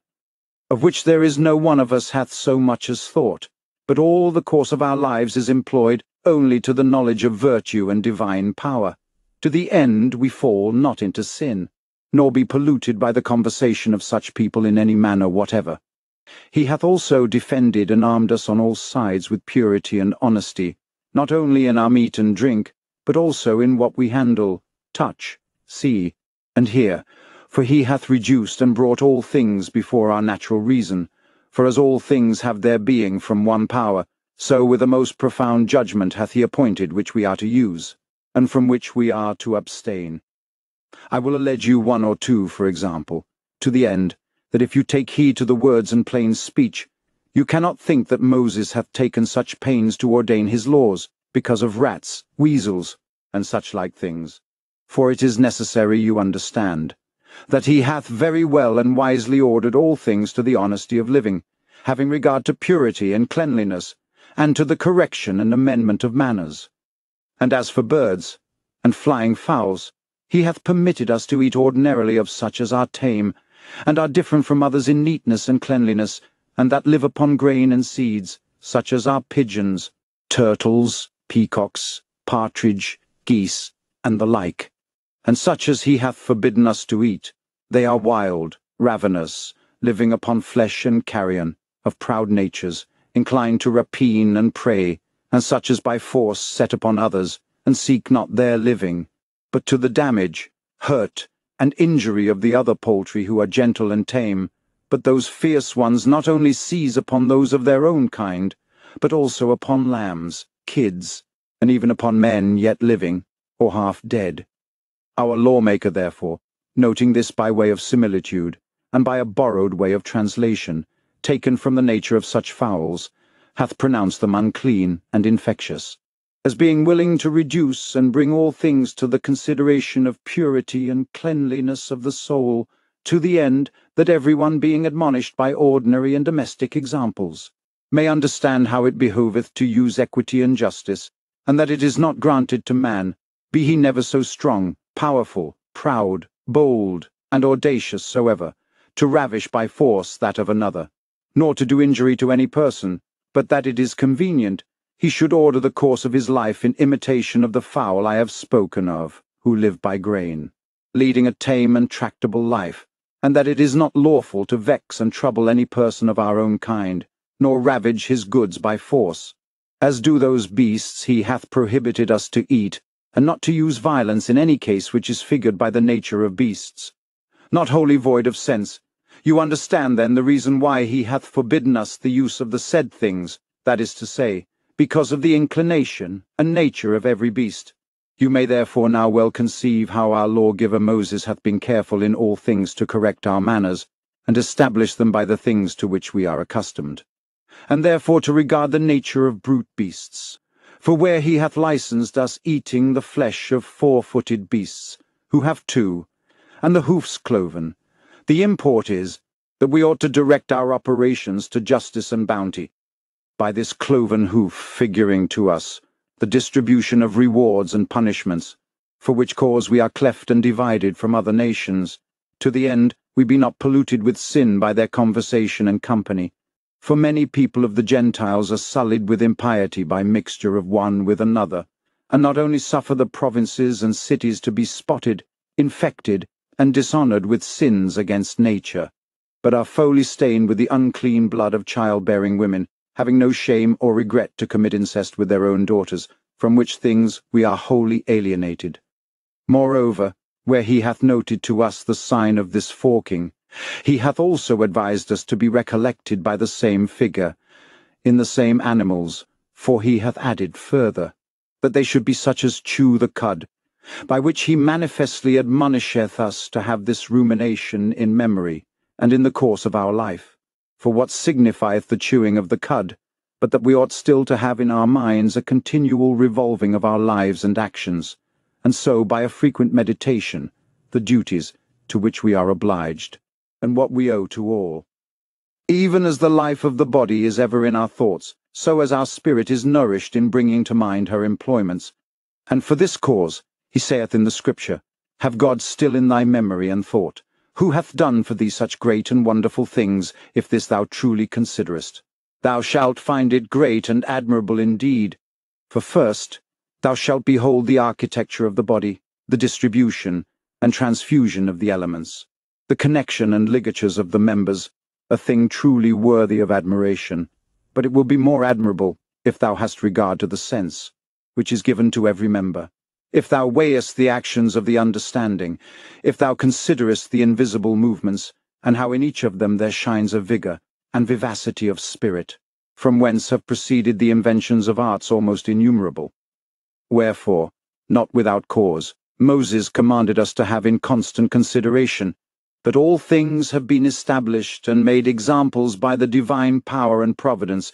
for so hath he finished and counterpoised everything, agreeing with its time and place, recalling always to mind the consideration of God the Lord, ruler and creator of the whole universe. And if we will begin with what concerns eating and drinking, hath he not well and prudently commanded,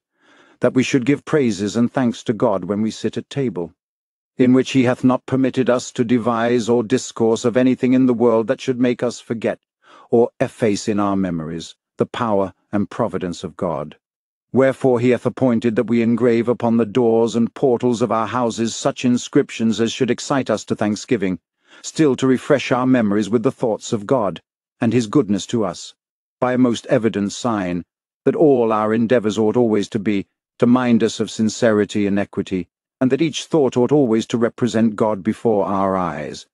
Also he hath appointed, that not only when we sit at table, but when we rise, we should praise the works of God, not only in word, but also with a grave and composed countenance, reducing to mind the perpetual motion of the heavens, and that this alternative and successive nature is divine, and incomprehensible to man. Thus to you is expounded the reason of the forking of the cloven foot, its import,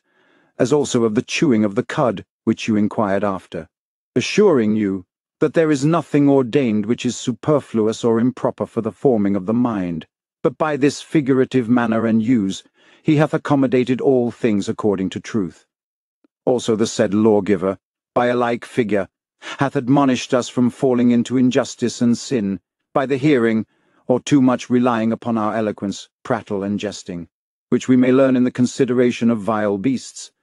For the weasels are of a filthy complexion, as also rats, and such like creatures, which he hath forbidden us to handle or touch. For rats, they make all things foul, infectious, and hurtful, and are not only pernicious to eat, but wholly unprofitable to man in all things. And weasels are a sort of vermin which are yet fouler, more infectious, and the most filthy and impure of all those we speak of. For they conceive by the ear, and bring forth their young by the throat, which is a thing detestable in men, in what they hear and report, receiving by the ear any cursed folly. To utter and be delivered of the same by the tongue and report, and to exasperate the same by words odious and bitter. Of which oft times there arises cause of great inconvenience, and that which of itself is nauseous and loathsome, they improve and amplify with an elaborate wicked invention by all means possible. Wherefore your king, as we have heard, justly causes such men to be punished capitally. I think, said I then, that by such you mean the Emphanists. For the king punisheth those without hope or mercy, by process, with tortures and sufferings, and even with an ignominious death. They are the same, said Eleazar, for their idleness and negligence brings nothing to men but mischief, and most dangerous ruin and destruction. And likewise our law commands to do no wrong or injury to any person, either by word or deed. See then how I advertise you in short, and show you that all our demeanours by the law are directed to justice and equity, and that our holy scriptures allow not anything that in appearance is evil, nor ought to be done impertinently and with choler, but we are commanded that in all our lives we demean ourselves towards all men, in all our conversations and deportments, justly and graciously, as having always in mind God for the great judge of secrets. Now to whom could it seem otherwise, but that Eleazar had well and pertinently spoken of those filthy vermin, reptiles, and of other creatures also, manifesting thereby very properly, that all the letter of the law tended to no other end than justice, and to shape and fashion well the manners and dispositions of men. Further, he delivered himself concerning the oblations of calves, of sheep, and of goats, raising thereupon a fair discourse, showing that it was their custom to select such beasts from the folds and herds as were tractable and tame, to make them their offerings to God, never offering sacrifice with wild or hurtful beasts, because those that made these oblations and offered them should not entertain savage thoughts, or be elated with intractable pride, but instructed by the gentle and innocent nature of the victims, and that they should learn from such instances to become humble and patient, and in their sacrificing to have their minds erect, as raised to God the Creator of all things. Hitherto, Philocrates, I have framed to you, by writing these memorable things, considering the it you have to learn and to know, which I have done, to the end, that by this little you may understand the majesty of the law, the causes and natural considerations that are therein contained, and now I will return from whence we have digressed, the return of the ambassadors to Alexandria, with the doctors of the Jews, and how the king adored the holy law seven times, with tears in his eyes. Eleazar then, after the sacrifices were performed, as was customary, having chosen the persons as is before specified, to send unto the king, he sent him also many rich presents, which indeed were very splendid. When therefore we had taken leave, and parted from him very friendly, with his salutation of peace, and were returned to Alexandria, our arrival was forthwith made known to the king. And soon after Andrea and myself entered into the king's hall, and making most humble reverence, we presented to his majesty the letters of Eleazar. Then the king, overjoyed that the event of this voyage had succeeded so well, having obtained the persons much to be wished for, made the crowd of those that attended on their petitions and suits, to quit the place, and commanded that the Jewish doctors should immediately have notice to attend, which was sooner than they expected. For the custom of the country is, when any ambassadors arrive upon any business they are sent about, it is not permitted them to be presented to the king, unless they are ambassadors from kings, or from very honourable states and republics, nor without great difficulty to have audience till thirty days after their arrival, and sometimes longer, as the king is pleased to make a difference, with regard to the degree of those that sent them. But the king, having cleared the place of those he judged not necessary to this entertainment, continued in the hall, expecting till the doctors were presented to make their obeisance, who being introduced, did their duties in delivering the presents sent the king from Eleazar. Likewise they presented him with divers skins of parchment, exceeding fine, smooth, and delicate, bound up with a binding very rare and uncommon, in which skins was the divine law of Moses in letters of gold, and in the Hebrew language, a thing very curious to behold. Upon their presenting them to the king, sitting in his chair of state, the king presently turned towards them taking notice of them all one after another, and then required of them the volumes of the law. Then they unfolded the royals wrapped up in these skins of parchment or vellum aforesaid, which the king seriously beholding, remained as one transported a pretty space, after which he adored the holy law seven times, saying these words, We give you thanks, my masters, and much more him that sent you hither, and the high God, above all, of whom these are the sacred words. Then the said doctors, and all those who were attending the king, let fall great expressions of joy with acclamation, and there fell tears of joy from the king's eyes, as we see many times, that exceeding transports will draw tears from the eyes, especially in excesses of a more sublime and intellectual nature. Then the king required the skins and volumes of the law should be folded up again, which done, he saluted the doctors, saying, Reason requires, grave sirs, that first we pay you honour and regard, inasmuch as we were the occasion of your coming hither, for which cause we give you our hand with this assurance, that this very day shall be to us the day, that all the days of our life we will hold great and memorable, and shall be solemnized every year with feasting, in perpetual memory of your visit, as also of our victory which we obtained this day against Antigonus at sea, Wherefore it is our will that this very day you solace yourselves in feasting with us. Forthwith he required the princes should be invited, amongst whom he did me the honour to make me to be seated. Moreover, he caused to be exposed to view all the rich furniture,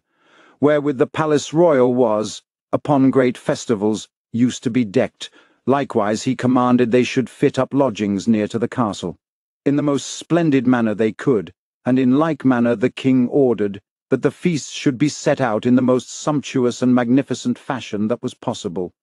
And then the king enjoined Nicanor, his chief physician, to bid Dorotheus, controller of the house, as from the will and pleasure of his majesty, that he should, and that with all diligence, deliver out all things necessary for every one of the doctors, as well for their accommodation, as for the furniture of their lodgings, and that without fail, as from the ordinance and command of the king,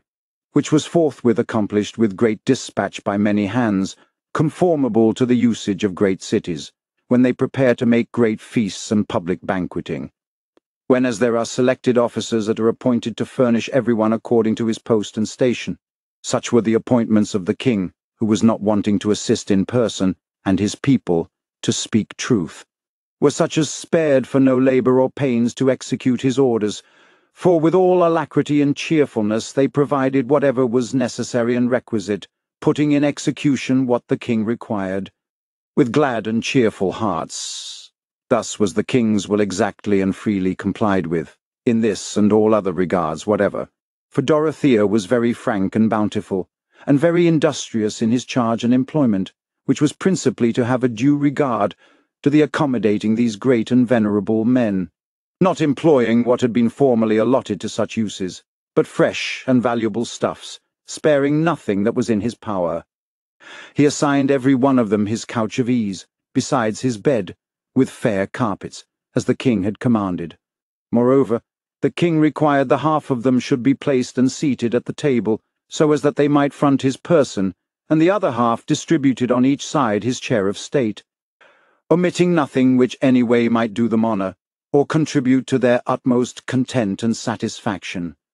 After the seats of the table were duly fixed and proportioned for each, the king's command to Dorotheus was that all those who came from Judea should have victuals distributed, and such as they affect, after the usage of their country, and appointment of their law, nevertheless, that they should want for no plenty or variety, as also for performing their oblations, vows, and sacrifices, according to the custom of their nation.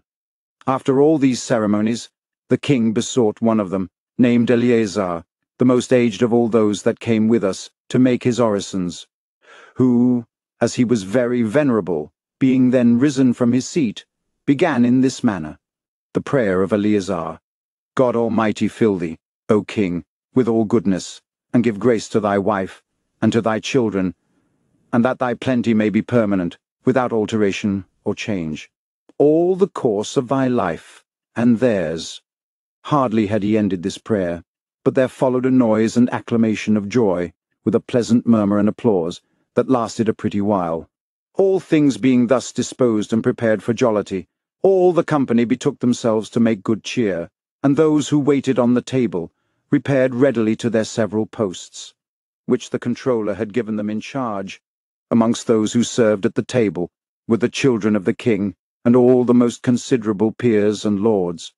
The answers of the Jewish elders to the questions propounded by King Ptolemaeus Philadelphus. When the time came, and a fit opportunity offered for discourse, the king, by certain pauses, began to ask them one by one in order several questions as they were marshalled at his table according to seniority. To him, therefore, that was set uppermost, he made this question. First question, how he should conserve his kingdom entire and safe to the end.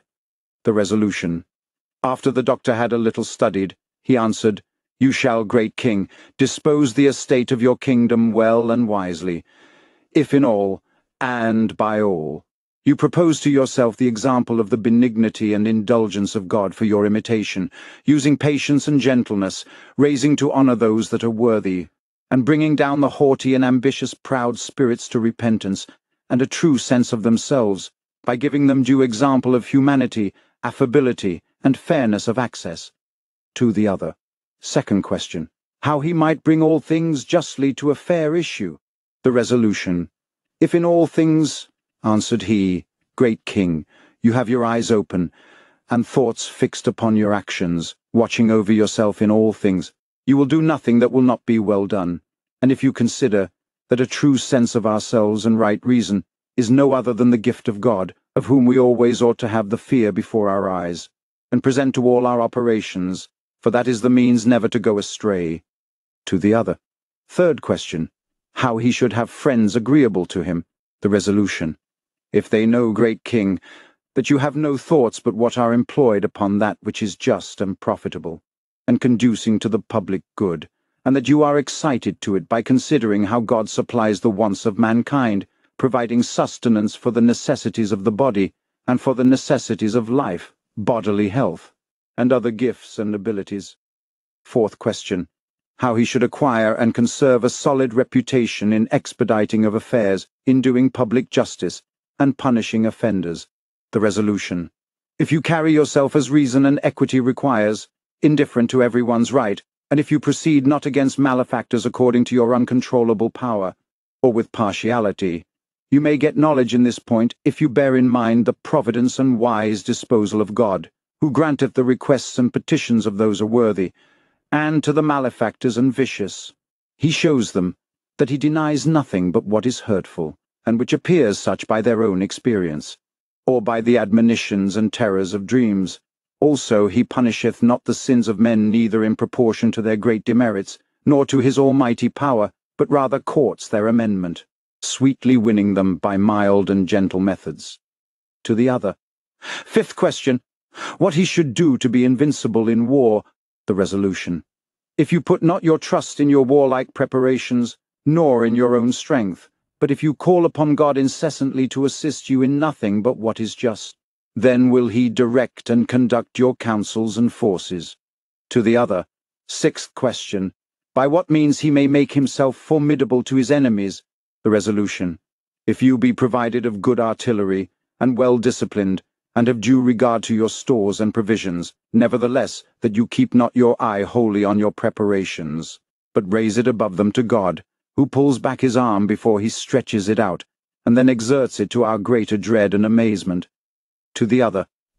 Seventh question. What thing may be to him most advantageous and best in this life? The resolution. That is, great king, to have a constant apprehension that God is the sovereign ruler of all men, for we have not the power of ourselves to address our counsels to worthy ends, but it is God who ruleth over all things, that conducts and crowns with perfection the events of humane affairs. To the other. 8. Question. By what means he might keep his treasure without diminution, and leave it unimpaired to his children. The resolution. If incessantly you pray to God, great King, that he will give you good advice and good understanding in what you are continually negotiating, and that you command your children not to boast themselves, or grow proud either of riches or honour, but that they acknowledge and persuade themselves that God hath bestowed all that they have, and what they enjoy is from his free gift and bounty, and that for their part they possess nothing which proceedeth from themselves. To the other. Ninth question. By what means he may bear patiently good and evil fortune? The resolution. If you consider with yourself, great king, that all mankind are created of God, subject to this lot, to be afflicted with great misfortunes in the beginning, and after to arrive at prosperity, and so to share good and ill fortune alternatively. For there is no man in this world that is not subject to such variety, or is privileged from it. But it is requisite you pray to God that he will be pleased of his free goodness to reduce your kingdom to tranquillity. The king then approving this reason, said, that they had answered all well and pertinently. But after said he, I have made one demand yet more, I will leave questioning, because we may return to our rejoicing, passing the rest of this day in jollity. And six days hence we will bethink ourselves of such questions as we intermit at present. And so he put forth this question to another. Tenth question. What is the end of magnanimity? The resolution. It is to be content when there happens cross accidents after you have provided good counsel to arrive at the end of your affairs. For God giveth good success to negotiations that are conducted by good and proper counsel. This answer was received with acclamations and applauses by all the assistants, and the king turning himself towards the philosophers which were there in some number. I am, said he, of opinion, that these men are excellently skilled in virtue, and that they have great experience in all things, being they have so readily and pertinently, upon the sudden, answered to such high questions, still founding their speeches always in God. Then a philosopher named Menedemus Eretriensis answered the king in this manner, Truly, sir, considering that man is a divine work, which one may know by the fabric of the whole world, it is a thing well beseeming, and reasonably fitting, that we begin with God, and resolve into him all the force of our discourse. The king approving his speech, all the company betook them to make cheer and to jollity, and so the feast lasted till night with great mirth and recreation. Upon the morrow the tables were disposed in the same order, and the banquet continued. And when occasion to make interrogatories was presented, the king began to address his countenance to those, who in the rank of answering, were next to those that the former day had been questioned, beginning at the eleventh, succeeding ten precedent. Eleventh question. What is the means to rule well, and govern a kingdom happily? The resolution. That is, first to rule yourself well, and not suffer yourself to be transported through self-opinion by means of the affluence of worldly riches and honour, and not to aim at anything by oppression, or against right, through an imperious annoyance, which if you consider duly, great king, and weigh well in your mind, esteeming all things as they justly are, you will reckon all that you possess as if it were nothing. Think also that God is full of all goodness, and stands not in need of anything, which thought you ought to fix deep in your mind as firmly as your humane spirit can contain it, and not too passionately to covet overflowing abundance of worldly greatness and riches, as thinking thereby to reign better. To the other. Twelfth question. How he ought to make choice of the best things. The resolution. If you have regard always to what is just and equitable, and if you esteem things unjust and wicked to be other than privation of life, for God hath ordained great and abundant goodness for just men. To the other. Thirteenth question. How I may avoid the uneasiness that many times proceeds from dreams. The resolution. You ask me, great king, a most nice question, for such things as discompose the mind are out of rule, since we are sometimes led by our senses, arising either from what hath passed, or from the objects presenting themselves to our view, whence many times we fancy in our dreams we are sailing upon the sea, or are passing over rivers, many times that we fly aloft with wings, soaring from place to place, and such like things as are ridiculous even to waking thoughts. Moreover, things to which we have great appetite and desire, disturb our fantasy in dreams. Wherefore, great king, I am of opinion that with all your might, in all you say and do, your intention should be purely addressed to piety and holiness, to the end, that persevering in that manner, you may be guided and fortified on all sides with virtue, and so show yourself impenetrable to all sensuality. And, on the other side, that you never take by force from another what to him belongs of right, because the things wherein we most engage and employ ourselves waking commonly appear in phantoms to us again in our dreams, insinuated into our fancies by the appetites and inclinations we had to them. But when you level all your affections, operations, and affairs at the mark of virtue and honesty, then sleeping and waking you will be at ease. To the other. Fourteenth question by what means he should do nothing indecently, the resolution. If in all things you consider what appertains to your degree, and what is in your power, to the end there fall not from you anything unbecoming your royal dignity, either in word or deed, you must also bear in mind that all your subjects are discoursing still of you, judging all your steps, and censuring your courses. Further, consider how you are exposed to flatterers,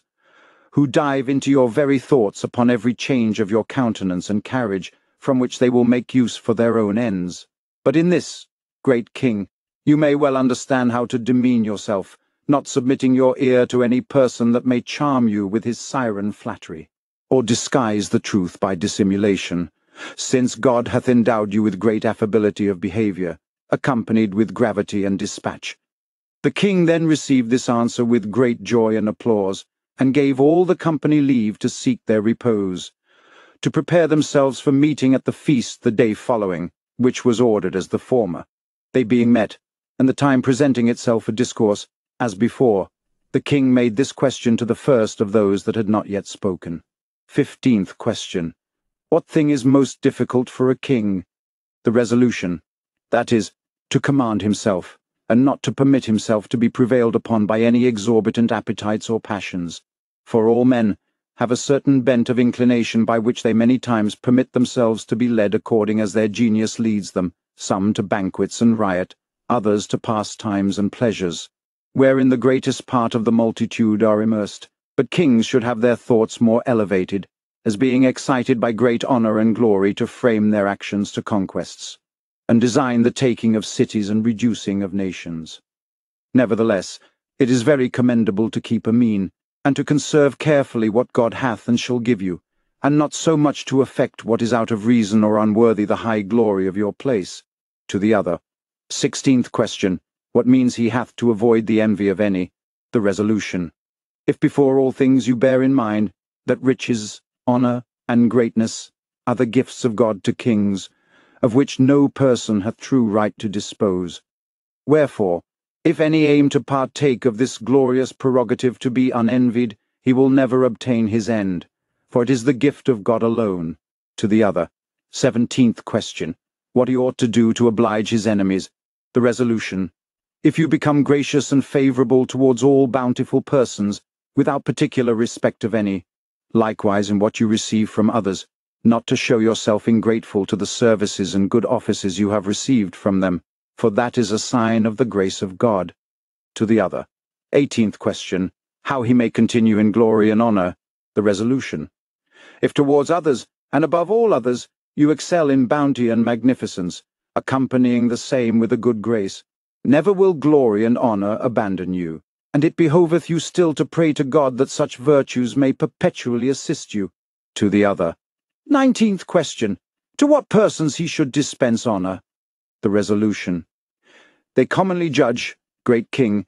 that we ought to dispense honour where we especially love, but for my part I am of opinion that we ought to dispense all we can to the envious, and to be gracious and bountiful to them, according to the utmost of our power, to the end that by such means they may be induced and won to do what is good and profitable, in which choice of our favours we must implore the aid of God, who inspireth the understanding, to the end he may accomplish in us this perfection. To the other, twentieth question, what persons he ought to gratify, the resolution, Father and Mother, great King, before all persons, for God hath annexed a great commandment to the duty we owe to our Father and Mother, allowing after but a second place to friends, whom he hath still proportionable in nature. Further, I esteem it, great King, no small happiness, that you engage all the world to love you, to the other. One and twentieth question. What is more worthy than beauty? The resolution. That is piety, for that is a beauty excelling all other, and its force consisteth in charity, which is a gift of God, which you have, and with it you will inherit all virtue and all that is good. To the other. Two and twentieth question. By what means one may recover greatness and glory once lost? The resolution. That is, great king.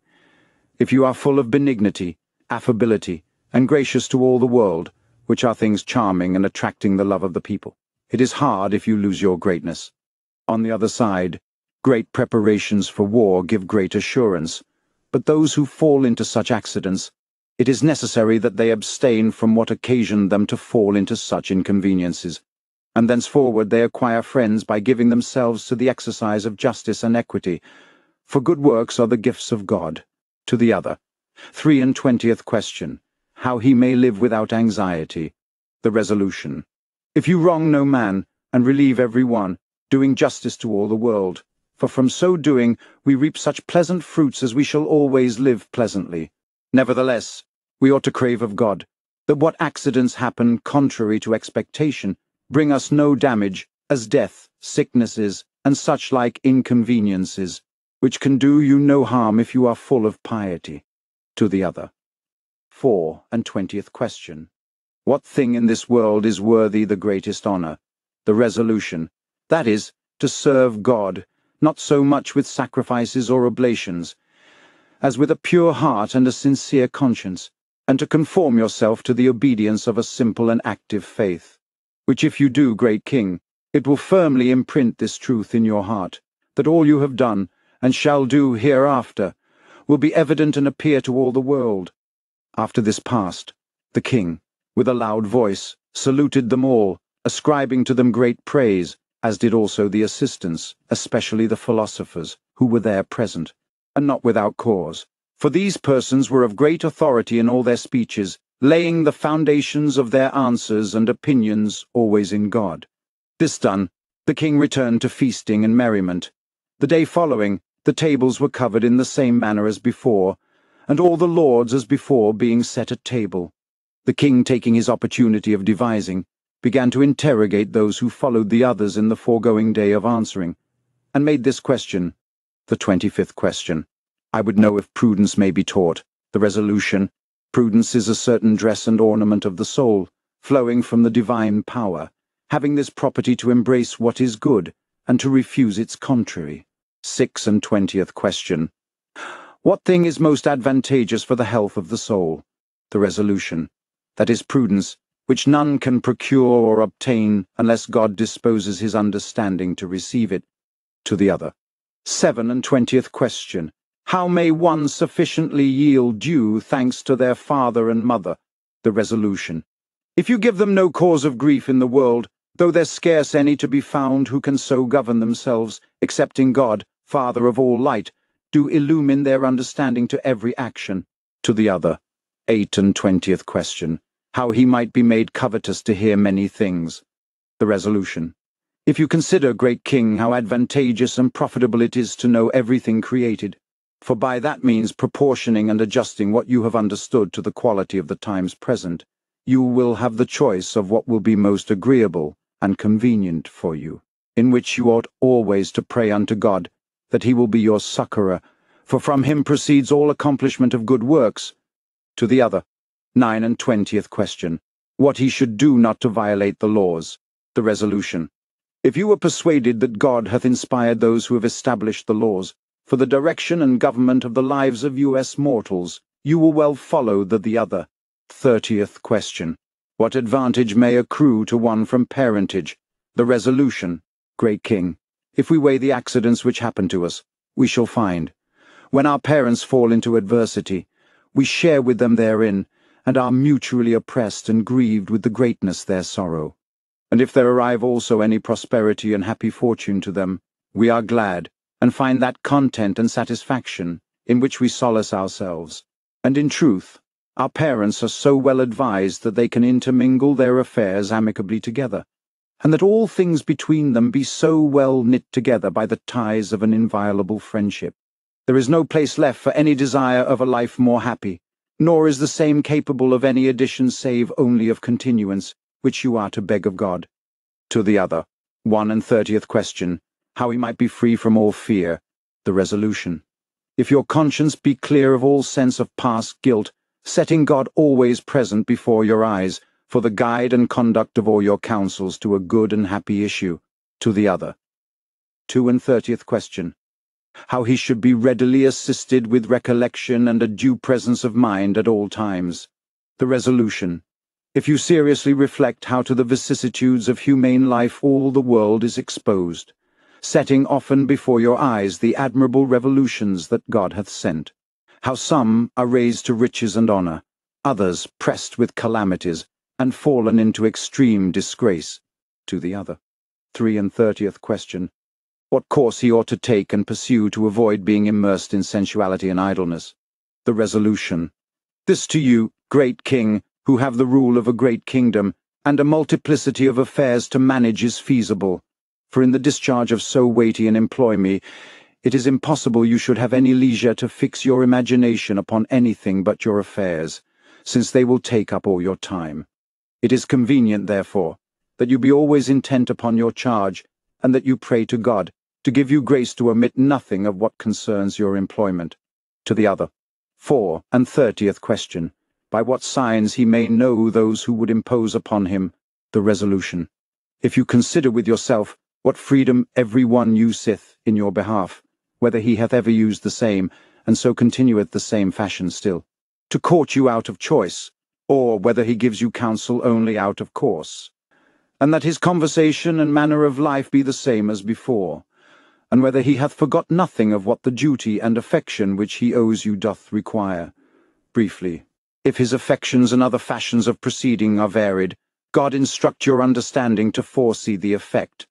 Then the king commended them all, calling every one by his name, whereat all the assistants rejoiced. The next day, when the king espied his fit opportunity in the feast, he began to question the rest, as follows. Five and thirtieth question. What is the greatest neglect in the world? The resolution. It is to take no account of our children, and not to take due care for their education, to train them up in virtue, and to form in them good manners and behaviour, for in our common devotions we entreat God not only for ourselves, but also that it would please him to address our children to all goodness, and to impart wisdom and science to them, which proceeds also from the grace of God. To the other, six and thirtieth question, how he should come to be a lover of his country, the resolution. If you persuade yourself that it is a happy thing to live and die at home, and that travels bring nothing but folly to the poor, and dishonour to the rich, since most men are of opinion that travellers have been banished their country for some miscarriage, debt, or trespass. But you, great king, will easily obtain what you demand in doing well, as you do to all the world, for God will give you a happy issue in all your just affairs and actions. To the other, seven and thirtieth question, what course one ought to take, to live agreeably with his wife, the resolution. Although some kind of women are nice and troublesome, and through their being opiniators grow perverse, being also frail, by reason of the weakness of the sex, and subject to commit some faults, yet nevertheless it behoveth us to comply with them, and to use them for our advantage, not striving with them, nor contradicting them with a forward spirit, for it is necessary to address our life to a certain butt or end, as the governors and pilots of ships do in observing landmarks which steps are all conducted by the order and providence of our great God. To the other, eight and thirtieth question, what course he should take not to be deceived, the resolution. If you act in every occasion according to reason, You will not suffer yourself to be led away by the insinuations of detractors, but as you are endowed with a discerning spirit, you will put a difference betwixt the deeds and sayings of everyone, by which means you will be out of danger of being circumvented, accomplishing your desires in every design which you shall lay with assured judgment. Nevertheless you must imagine that the skill of ordering every affair, the carrying it on, and the event of it, is the work of the divine power. To the other, nine and thirtieth question, what he should do to avoid being choleric, the resolution. If you consider, great king, that he on whom the lives of many depend, is the occasion of a multitude of deaths, when he executeth his will with fury and passion. And it is a detestable thing to extinguish the lives of many out of an affectation of power. For when subjects conform themselves to the will of the prince, humbly yielding and complying, what ground hath he to disquiet himself, and to enter into passion?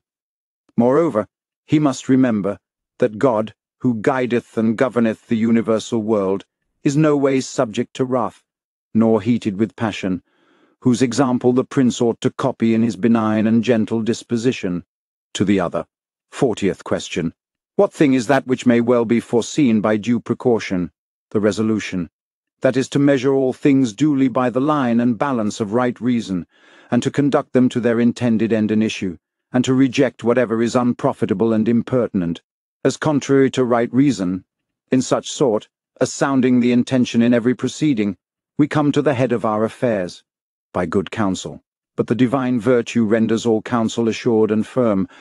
and yours principally, because you are given to the exercise of piety.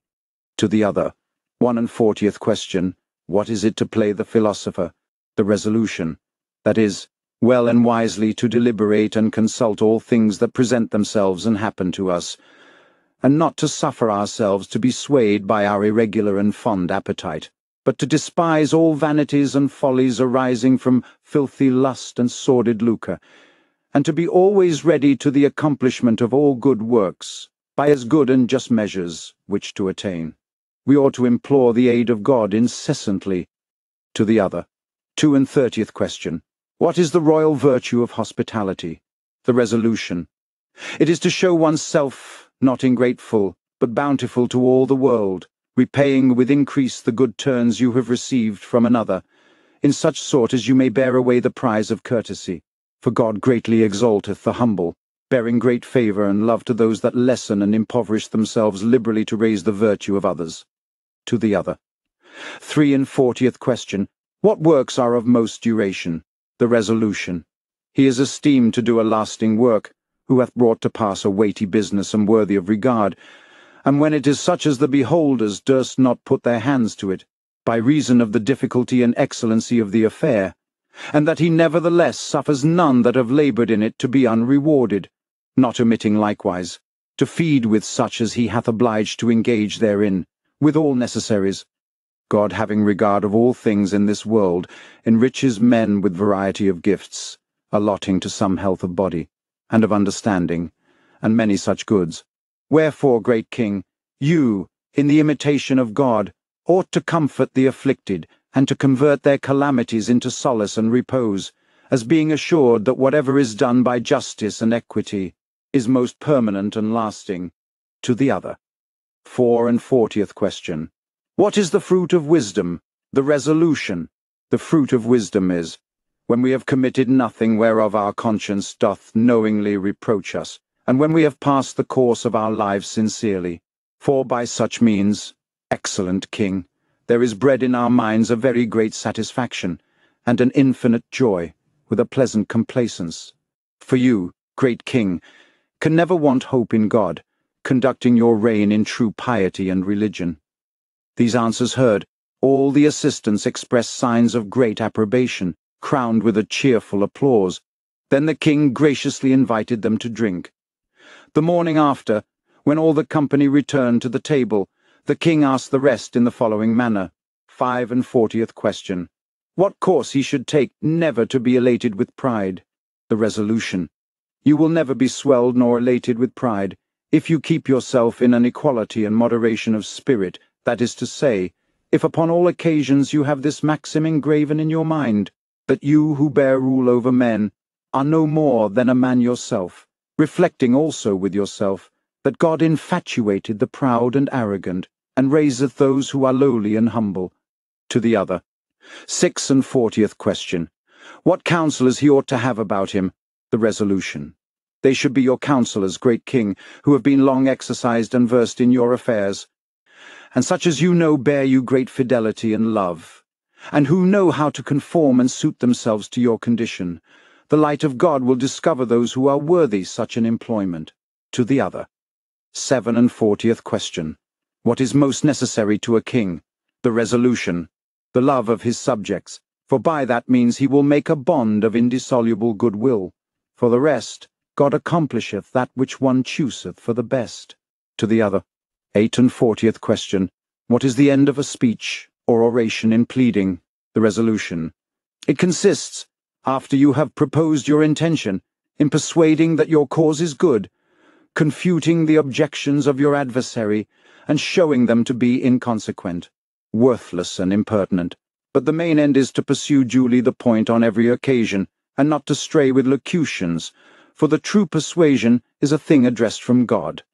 To the other, nine and fortieth question, how he should accommodate himself to divers people in one kingdom. The resolution, doing and administering justice to every one equally, and by so doing you shall govern and rule them as you list. For the rest, God inspireth men with power to discern the right of kings. To the other, fiftieth question, in what things are we constrained to be sorrowful? The resolution, in the calamities and adversities of our friends, and most, when we see that such calamities are of a long durance, and inevitable, and when they are therewith so attacked, as to cause them to die, for in such griefs there is no means how we can take off our sorrow, and if there were, there is no possible hope of remedy, nor any profit to be found against such accidents, with which all humane kind are so grieved. For to avoid wholly all mischances is a business rather for a divine power than a mortal. To the other, one and fiftieth question, in what thing a man deprives himself of glory and honour? The resolution, when a man becomes untractable and inaccessible by fierceness and pride, for then vituperation comes upon him, and privation of honour follows him. For God, who is the governor of glory, gives and takes it away, as seemeth good to him.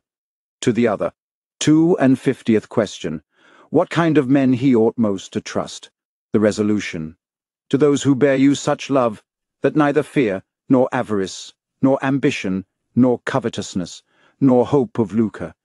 cannot at all have any power to divert. Nevertheless, the show of this love is not easily to be discerned, and in the same, it is needful to have observation a long time, for those who are near to a king aspire to make themselves rich, and spare no means to get, by his favour, great profit, and are naturally traitors. But God conduct, great King, your counsel, that they may sufficiently show you who are those that perfectly love you. To the other. Three and fiftieth question. What is that which conserveth a kingdom? The resolution, that is, that the king take diligent care, and give order, that those who are in office, and have charge, commit no undue things to the prejudice of the people the which you know very well how to perform. For, as it seemeth, God hath given you a spirit very excellent. To the other. Four and fiftieth question. By what means he might keep grace and honour? The resolution. By virtue, for she is the accomplishment of all great works, and trips up the feet of vice, as you have long experimented by your excellent bounty towards all persons, which in you is a sign of the gift of God to the other. Five and fiftieth question. How in time of war he might keep himself still in tranquillity of spirit. The resolution. If you propose in your mind to give order that your lieutenants and captains commit nothing that is evil, but that they contend by virtue one with another for the proof of their virtue, and further, that they have in you a perfect confidence that you will have their domestic affairs in a singular respect, if it happen that they lose their lives for, and in your service, by this means you shall have no occasion to be troubled, disposing all prudently by divine clemency, which will inspire you to understand all that is good. King Ptolemy receiving this answer with great expressions of joy, with a cheerful countenance entreated them all to drink, showing extreme content and satisfaction. The seventh day, the feast was prepared more great and more sumptuous than it had hitherto been,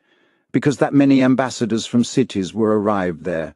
Then all being set in their order, the king finding occasion to devise, asked the first of those that had not yet spoken their advice in this same manner. Six and fiftieth question. How he might be resolved thoroughly by reason, and by arguments. The resolution. If you weigh well the propositions which you shall hold, and the persons which speak, and the subject whereof they treat, and that you often inform yourself, and that in divers manners, and by long intervals of time, of the estate of the above said affairs. For the bounty of the Spirit is an extraordinary gift of God, by which one may easily know and discern all things. To the other, seven and fiftieth question, Wherefore is it that many cannot approach unto virtue? The resolution. Because nature hath created all humane creatures subject to incontinence, and prompt to voluptuousness, from whence injustice and iniquity is engendered, and avariciousness does greatly abound. But the estate of virtue, whose nature is fixed on things sublime, casts away all those whom voluptuousness doth cause to be alienated from her. For she commends before all things, that justice and magnanimity shall be observed, the which God gives, and is therefore the principal author. To the other. Eight and fiftieth question. What is that which kings ought to follow above all things? The resolution. That is the laws. To the end that they ruling the lives of subjects by just and equitable acts, as we have heard you do, great king, you shall gain by this means immortal memory, if you follow the precepts and commands of the Most High. To the other. Nine and fiftieth question. Who are those that one ought to elect for offices and magistracies? The resolution. They are those that are averse to all things unjust, and that are imitators of your actions. And that being drawn with the sweetness of virtue, pursue incessantly after good works, that they may attain to glory and honour, to which certainly, O worthy King still following virtue, you will attain, for God is he that crowneth with honour and glory glorious justice, to the other, the sixtieth question, What persons ought one to choose for captains? The resolution. Those that do most exceed justice and magnanimity, and yet have more respect to the lives of men than to a bloody victory. For God is he from whom all mortals receive infinite goodness, the which you shall excellently imitate, if you persist in doing good to your subjects. To the other, the one and sixtieth question. Who is the man worthy of admiration? The resolution. That is he who doth highly abound in glory and greatness, is opulent in riches, and sublime in puissance, yet nevertheless yields himself affable and kind, just and equitable to every one, as we have heard, great king, you do, and the same shall make you admired by every one.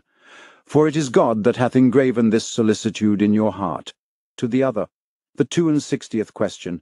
what behoveth him to exercise himself in, when he is at leisure, that he may not thereby be drowned in sloth? The resolution. It is necessary, with all imaginable care and diligence to consider the discourse which offer concerning the form and manner of living,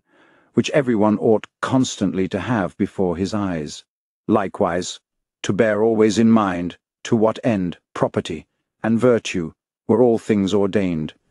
because in the said discourse there is much good and honest pastime conjoined to the increase of knowledge. For amongst little and vile things, one finds many times something that may please him to choose and take. For the rest, great king, it seems well to us, God hath in a great measure so favoured you, that you will still be electing all virtuous behaviour and kindness, by the great honour you bear to the study of wisdom. To the other, the three and sixtieth question. In what things ought kings most to employ their time? The resolution. In the knowledge of histories, and in reading books, which treat of affairs, that most often present themselves to him, in which it is needful that he employ much time. It behoveth, moreover, that he inquire for those writings that teach to conserve kingdoms, and to correct the manners of men, which to accomplish with such diligence as you do, God will give prosperity to your designs, in which he will grant you in excellent glory far above other kings. To the other, the four and sixtieth question, What persons ought one to invite to banquets? The resolution, One ought to call those which are desirous to learn, and those who often think how the affairs of a kingdom ought to pass, and that know how to recount the lives of princes, for there is nothing more pleasant, nor more delectable than such company, for they are those that are well instituted and instructed in the beauty of knowledge, and have God in high reverence. The which thing it seems you do accomplish well, great king, as one may perceive, in that God hath been pleased to send you prosperity and happiness in all your affairs. To the other, the five and sixtieth question, which is most profitable for the people, either to choose over them a king from a private person, or to obey a king that was son to a king. The resolution, the most profitable to the people, is that which is most agreeable with nature. For although that some kings' sons be sometimes oppressors of the people, yet those which from private persons come to be exalted to such sublimity and greatness, because they have experienced poverty, and endured calamities and laborious travels of private persons, they are more cruel than bloody tyrants, and rule their subjects by force and intolerable violence. Wherefore the ordinance received and accustomed, and the common fashion of doing, is much more sure, and far better for government, that it come from the king by succession, from father to son, as it is with you, worthy and great king. For your greatness and excellency consisteth not so much in honours, glory, and great domination, as in clemency and benignity. The which, by a gift from God, draweth and attracteth the hearts of all persons to love you. The king accepted this answer with praise, and turned himself towards the last, saying, The sixth and sixtieth question, What is most profitable to a kingdom? The resolution, that is, to hold and maintain the people in peace, and to give order that suits and process of law should be immediately and without delay adjudged definitively, for such things are executed when the prince hateth the wicked, and showeth favour and kindness to good and honest men, and such as be virtuous, and that he esteems it a great thing to have saved the life of one of his subjects. As we have been informed you do, great king, that abhor all murderers, disposing and tempering all by justice, in which you adorn to eternity the greatness of your deeds, God having inspire you with a soul free from all foulness of vice, and illustrated the same with most excellent virtue, after these answers, there arose a great noise of congratulations and applauses with an excessive joyful acclamation, and the whole hall was full of joyful shouts. The king then commanding silence, and taking his cup, invited them all to drink, then addressing his speech to the said doctors, pronounced these words in the presence of all the assembly. I repute this day, my masters, to be to me most happy by your presences, for your answers have brought to me most great profit and instruction for the government of myself and my kingdom. Thus, all being ended, he ordained that to every one of the doctors should be delivered three talents of silver, and by and by gave to every one of them a page to wait upon them at their table. So, with great contentment to every one, the feast was ended with great praise of the king's liberality, who above all showed a countenance of receiving the greatest satisfaction and most joyful content. I have been hitherto Philocrates, thus prolix in the recital of the business, which I have done, for the great esteem I have had of such men, and of their wisdom, marvelling at the readiness of their answers, being so pertinent to that which was proposed to them upon the sudden, showing such elegance in their speech, as if these questions had been long time in premeditation, and that he who proposed them had thought of them long before he demanded them, and yet their answers to him were found so agreeable, as if they had long before consulted together about them. Wherefore it is no wonder that they seem admirable, not to me only, but to the philosophers also, and to all them that were present, assuring you that such things are more hard to believe than one would imagine, in which I will not wonder, if the faith of the readers be vanquished. For my part, what occasion have I to add dreams or falsities, seeing that all which I have written is to be found in the registers of the king, where it is held the greatest of crimes, to find any untruth in the least thing of the world. I assure you, then, that this recitation is most true, containing the discourse of all the things as they have passed in verity, without mixture of any error, for to this end, that I might best know the truth. I have used this diligence to search public registers, where we may see recited the banquets and feasts, together with the interrogations also of the king, and the answers which were given him, and all even word for word, from whence I have borrowed what I have here written. For you know it hath been the custom to register and enroll all that hath been done and said, every day from the time that the king began to give audience, unto the time he went to bed, without omitting anything that he did, or was said to his majesty, a course truly very profitable and well instituted, for by that means the registered acts of the precedent day being read, if anything were omitted in what the king had said or done, there might be opportunity of amendment. Therefore, after I had diligently searched the day book of the king, I have collected the same for you, here by writing, as aforesaid, well knowing the extraordinary great desire you have to understand all remarkable occurrences,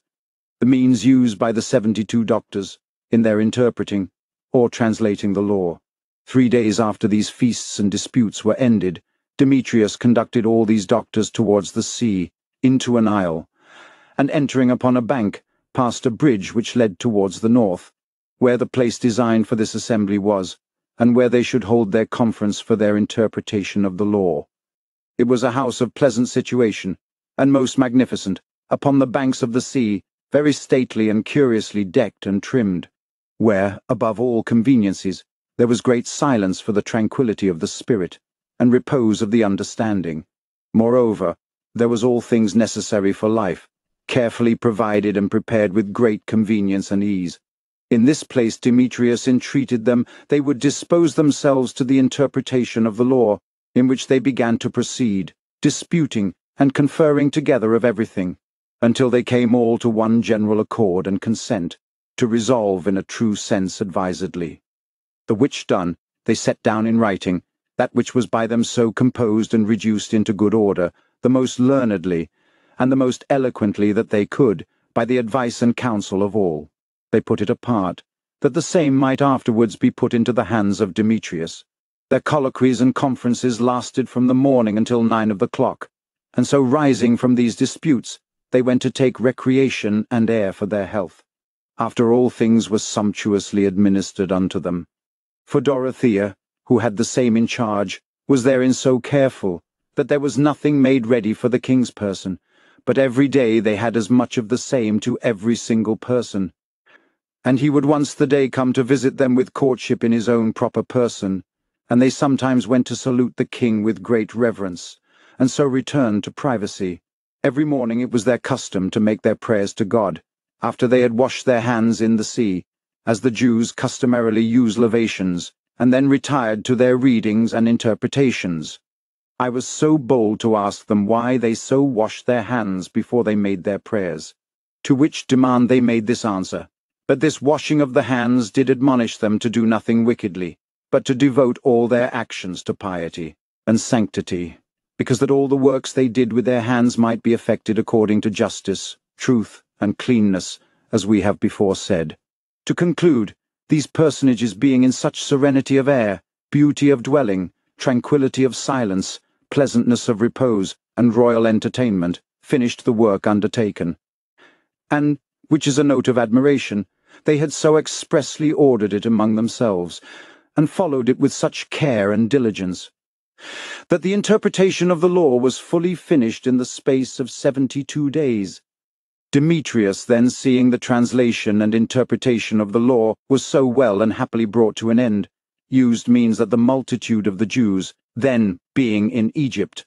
might be convocated to the place where the work was then perfected, to whom he showed how all things had been done, beginning with all circumstances of the enterprise, and all in the presence of the interpreters. To the king all the multitude attributed great praise, and gave infinite thanks for being the mediate cause of so important a good, and a benefit of such excellency. Likewise they shared a part of the honour to Demetrius, entreating him to show them that favour as to have a copy for their princes, for to have their advice, and to deliberate upon the profit or damage that might arise upon the same. In this sort was the law reviewed, reknown, and received in the assembly of the princes of the Jews,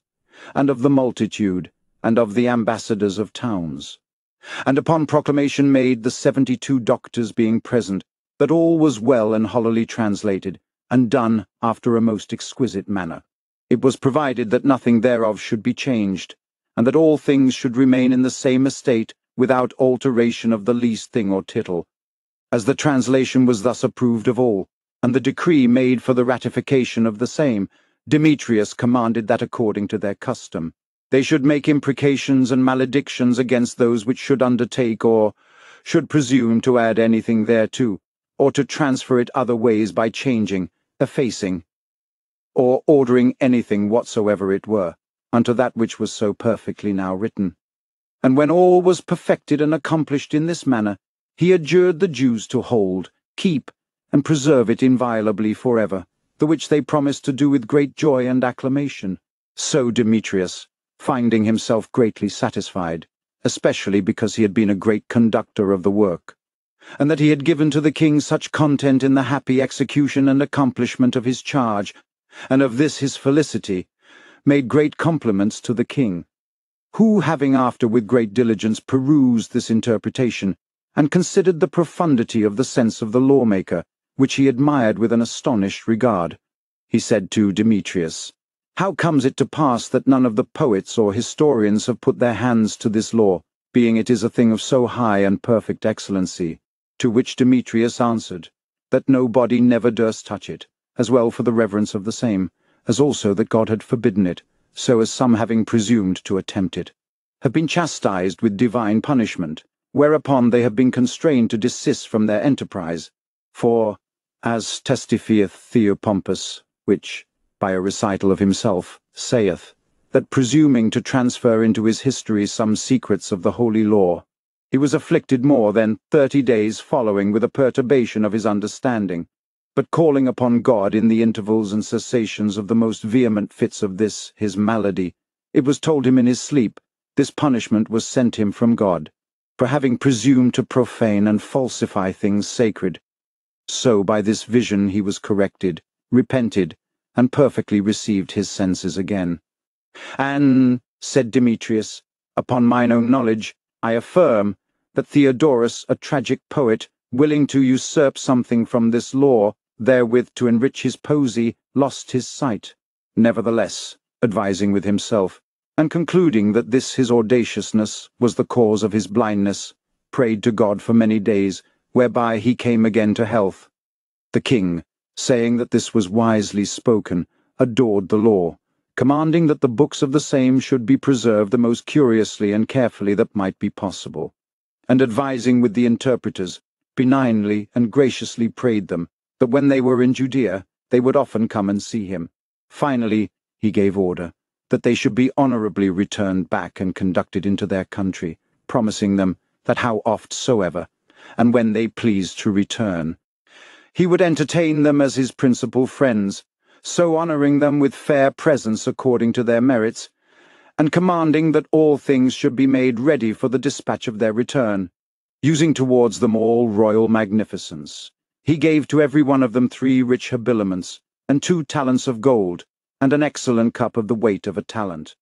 Moreover, furniture to furnish a chamber, over and above he sent to Eleazar ten table beds or couches of ease, which had the feet of silver, and adorned with all that was necessary to the beautifying of them. Further, he sent him a present of thirty talents of Cilicia, that is to say, ten robes, whereof the one was of purple, and a fair crown of an hundred tunics of crespi, of vials, of basins, and two cups of gold for the sacrifices. After, he entreated Eleazar, that when any of the said doctors should desire rather to return to him, than to remain in Jerusalem, that he would not hinder them by any means, for he protested he made great esteem of wise men's company, and that he would spare for nothing to draw them to him, in which he should best employ his riches, to all imaginable content and profit, and not, as some prodigal princes do, in vain trifles that profit nothing. Behold here, my Philocrates, the present which I promised you, in which I hope you will take more pleasure than in reading vain, fabulous narrations, being that you use to whet and sharpen your understanding in the contemplation of the most great and noble actions, in which you have employed much time, which hath given me occasion now to write you things worthy and excellent, and the best that I could choose, because that betwixt us I would kindle a kind contention and emulation of amiable virtue, for the desire to have an intelligence of things more worthy to be observed, and which are the most excellent.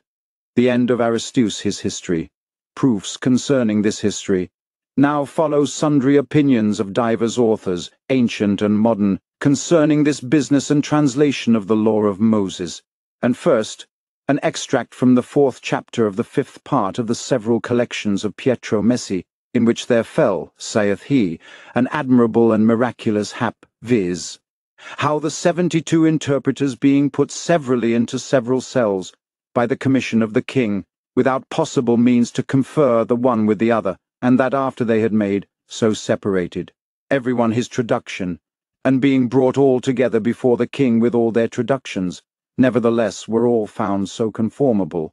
that there was not one syllable more in the one than in the other, which could not be without the especial grace and operation of the Holy Ghost,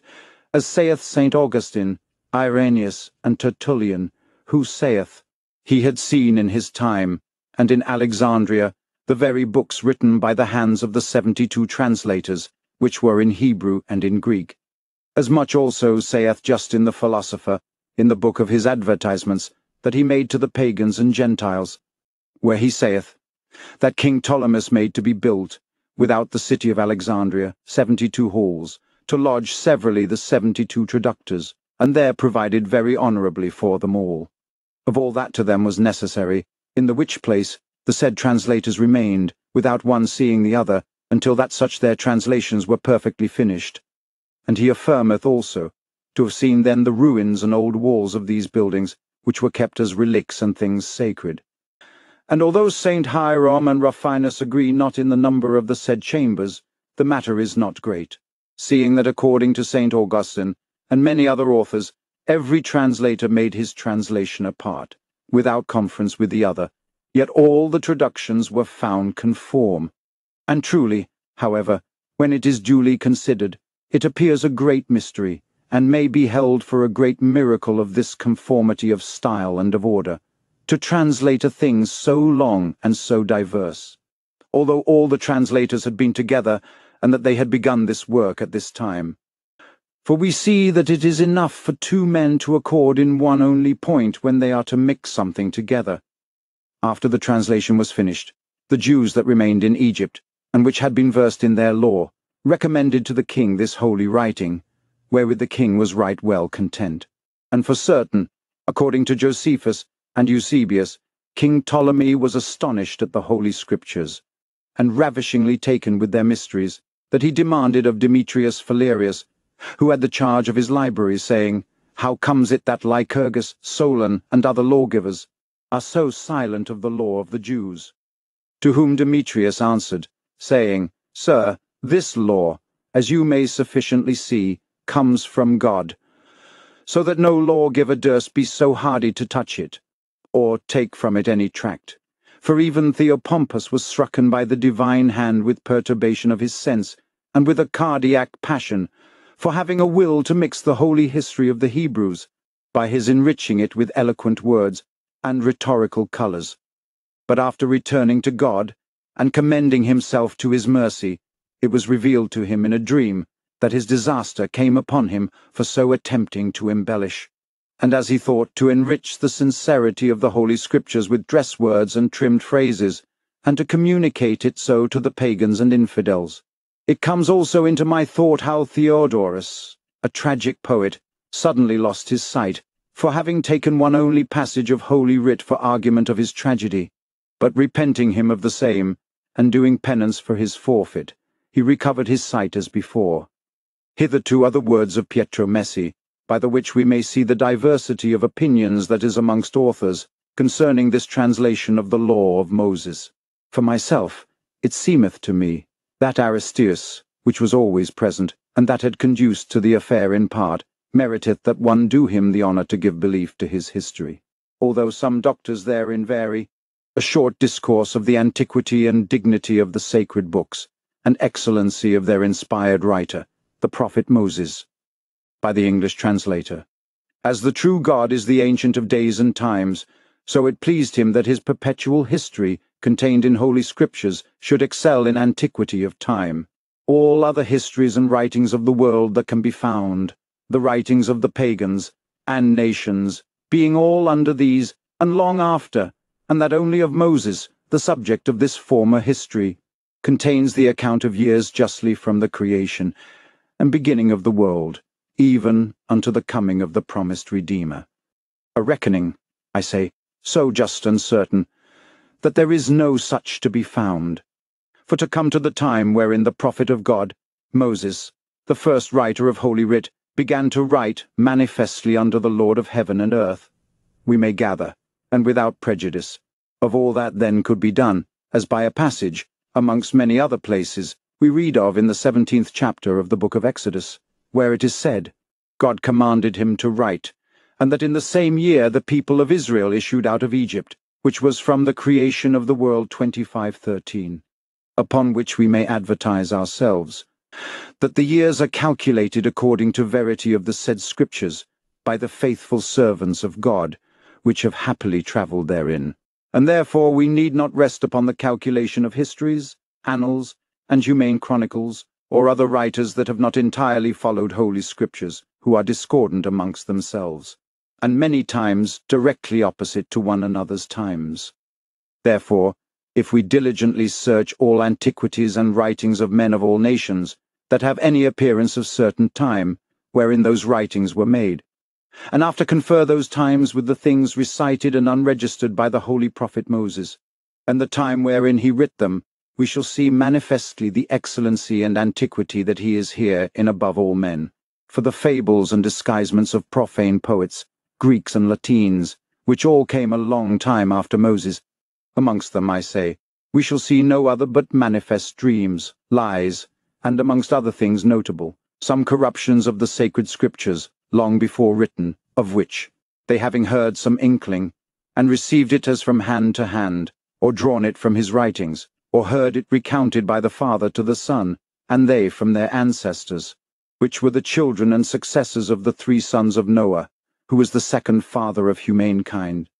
and restorer of the nations of all the world, all issuing from his posterity, after the universal flood. His three sons, as Holy Scripture hath acquainted us with, were Shem, Ham, and Japhet, of whom are descended all the earth. And this before spoken is easily and sufficiently discovered in the writings of the said pagans by the proper names of the said children of Noah and of their successors, which of long time before these writings and profane histories had been named by Moses. For the pagans testify that the people had made of these ancient fathers idols and gods.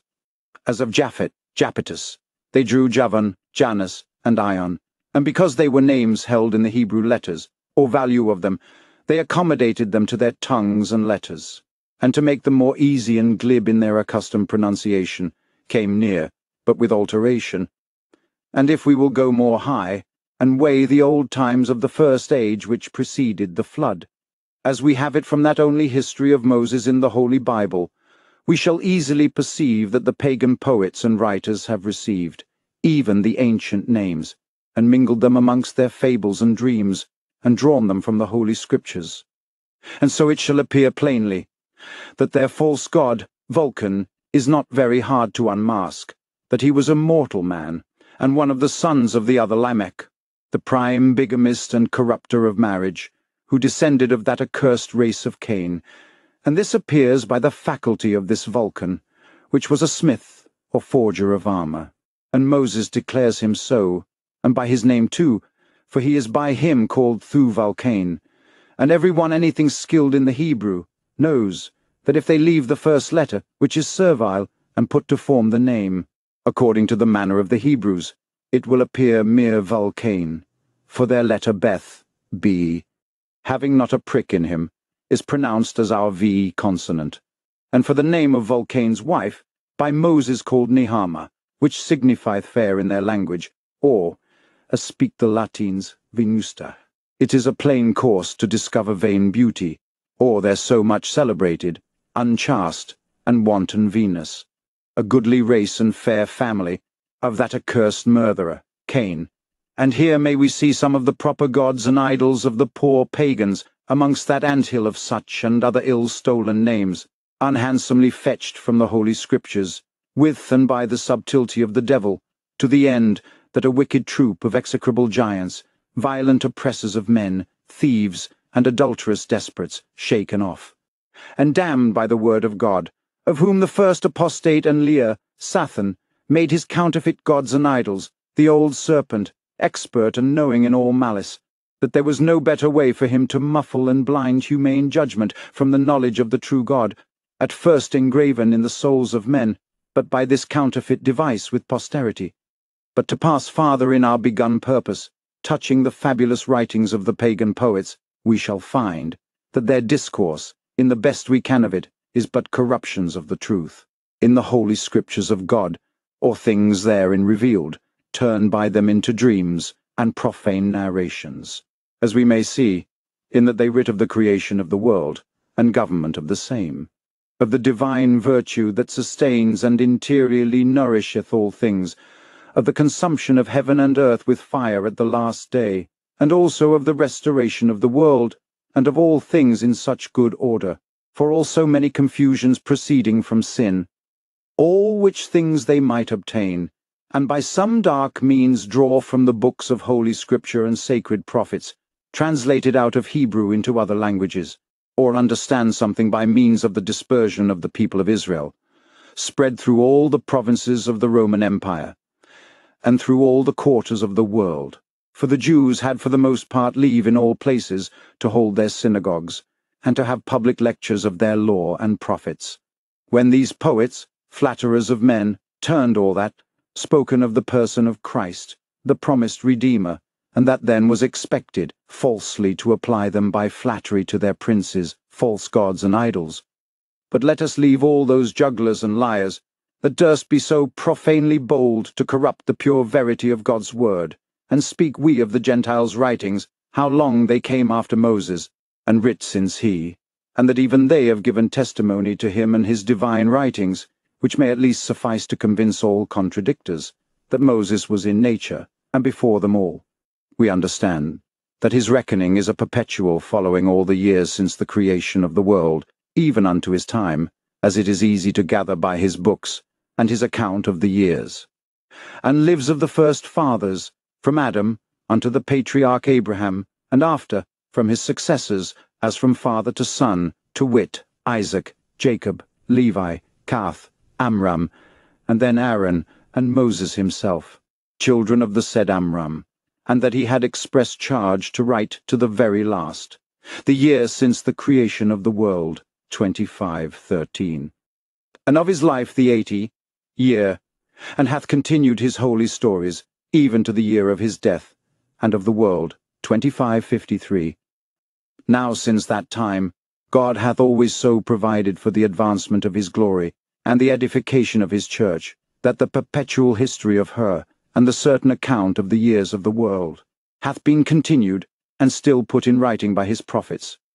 as it is to be seen in the holy books that treat of and contain the government of Joshua, and the judges, then to Samuel, and the kings of the people, unto the transmigration into Babylon, and of other governors, which have succeeded them, after their return from thence. And finally, the prophet Daniel hath declared the rest of the time, that is, the four hundred and ninety years since the said deliverance of the Jews, and return from Babylon, by the means of Cyrus, king of Persia, even to the death and resurrection of Christ the Redeemer, promised to the holy fathers, which is our Lord Jesus, the eternal Son of God, true God, and true man, who appeared living after his death and resurrection to more than five hundred faithful witnesses at one time, besides his other manifestations, and mounted visibly into heaven in the year of the world, 3961. Now, if we will lurch all the histories of all the nations of the world, of whom the writings are arrived to our age, the most ancient time of which they make mention shall be of their antient destruction of Troy by the Greeks the history whereof hath been written by Dictys of the Isle of Crete, which is the best testimony they have for the present, and since, by Homer and many others. And from this destruction, Diodorus Siculus, renowned amongst the historians, began his books, now the same, according with the common judgment and calculation of knowing men, comes only to be about three hundred and fifty-eight years before the building of Rome, the same time then falls to be in the sixteenth year of the government of Elon, judge of the people of Israel. mentioned in the book of Judges. And the same was 316 years before the first Olympiad, the reckoning of the annals of the Greeks. So then the said destruction of Troy falls to be only under the year of the world 2838. When therefore we shall give consent that their writings, the most certain, whose narrations we may best give credit unto, yet the prophet Moses shall be found much more ancient than all the writers of the world, what nation soever, though they are in great number, and of whom we see yet the old books in these last times in their proper tongues, and that he hath put his hand to the pen, and began to write his divine revelations of the creation and conduct of the world, even to his time. And his sacred history and prophecies touching the Church of God shall at least be three hundred and twenty-five years before all other writers, of whom there is any mention or news in the world, that is to say, in the year of the world, 2513. Whereupon we note, even to this present, against all those profane mockers that have disgorged that enormous blasphemy amongst others, that the world is eternal and of itself, which if it were, so as they dream, and that it had no such beginning as is written by Moses, they might find then by all, and in all languages, many histories of infinite times, and many chronicles of many ages, and of old times that have preceded Moses in the account of years. But we see that there is no such, and that the Holy Bible is found even in the middle amongst all sorts of enemies that strive to destroy, lose, abolish, burn, and extermine from the world the books of it. And for all thereto they had so long time, yet nevertheless they never could, nor ever shall. For we see the said Bible yet, in his proper writing and language, and of all others of what nation soever, the most celebrated and renowned. And if they could find any history, which had been written before Moses was born into the world, yet shall it contain their time and composition, with more years and ages, as we can gather from the Holy Scriptures, even to this present year 1633, since the Nativity of Christ. The which account of times past from the creation unto this present year shall come to amount to five thousand five hundred and sixty-three years, but such histories neither can be found, nor ever were. But for Moses, and his faithful writings, even profane authors and histories of the Gentiles themselves, have been, even as it were, divinely constrained to bear testimony, maugre their calumnies, lies, dreams, and disguisings, through and by the invincible force of truth. And so they have served for certificates to all nations of the venerable and well-known antiquity of him and his holy writs, for some of them have noted, and writ thus, as a thing notorious of their times, to wit, that in the east parts, and of Syria itself, there had been an Abraham, an Israel, and even a Joseph, who, say they, was a son of the said Israel, sold by his brethren, and led into Egypt. Then how he was received into the court, and held very dearly with the king, to whom he foretold the grievous and great famine, so as without the divine counsel by him given. Whereupon the admonished king gathered up and made reservation of corn before the time of the said famine. Egypt had perished. And finally, how his successor Moses, and all his people issued out of Egypt, came to Mount Sinai, how they consecrated the seventh day for their Sabbath, or resting day. But I will leave this discourse, though diversified from a spark of truth, that these historians have mixed with their own devices, as profane, and in which they were poorly advertised and deceived, by the subtlety of Satan, as we may well know by conferring their writings with the Holy Bible. And be it that these scoffers of God and his holy word dare be so bold to say and affirm that Moses and his have suppressed and abolished all precedent histories, making their writings to be before all others, thereby to authorize them the better, yet we will leave those their calumnies to the judgment of any of sound sense and understanding, if that could be, or can have any place or shadow of belief amongst men of sound judgment or reasonable discourse. For if they will put into mature consideration the small means and contemptible quality in the world of these poor Israelites, but shepherds and breeders of cattle, and, which is worse, people exposed to the oppressions and hard servitude under their puissant enemies, and evil-disposed neighbours. Then who shall make comparison of them with great kings and people of the earth, Babylonians, Egyptians, Syrians, Romans, and other potentates, who with all their authority, their edicts, forces, and armies, had never power to abolish the holy books, written simply by our poor shepherds, when they could not conserve their royal libraries, favoured of all the world. Truly, this may well put to the blush these wiselings, that show themselves fools in so speaking, and discoursing without discourse, and will judge of things without inquiry. Now for the integrity of Moses, for us Christians, we are sufficiently cleared and satisfied by the authority of the Holy Spirit of God, who hath given excellent testimony by all the Scriptures, both in the Old and New Testament, of his original and lineage, being descended from the latter Levi, nephew of the holy patriarch Abraham,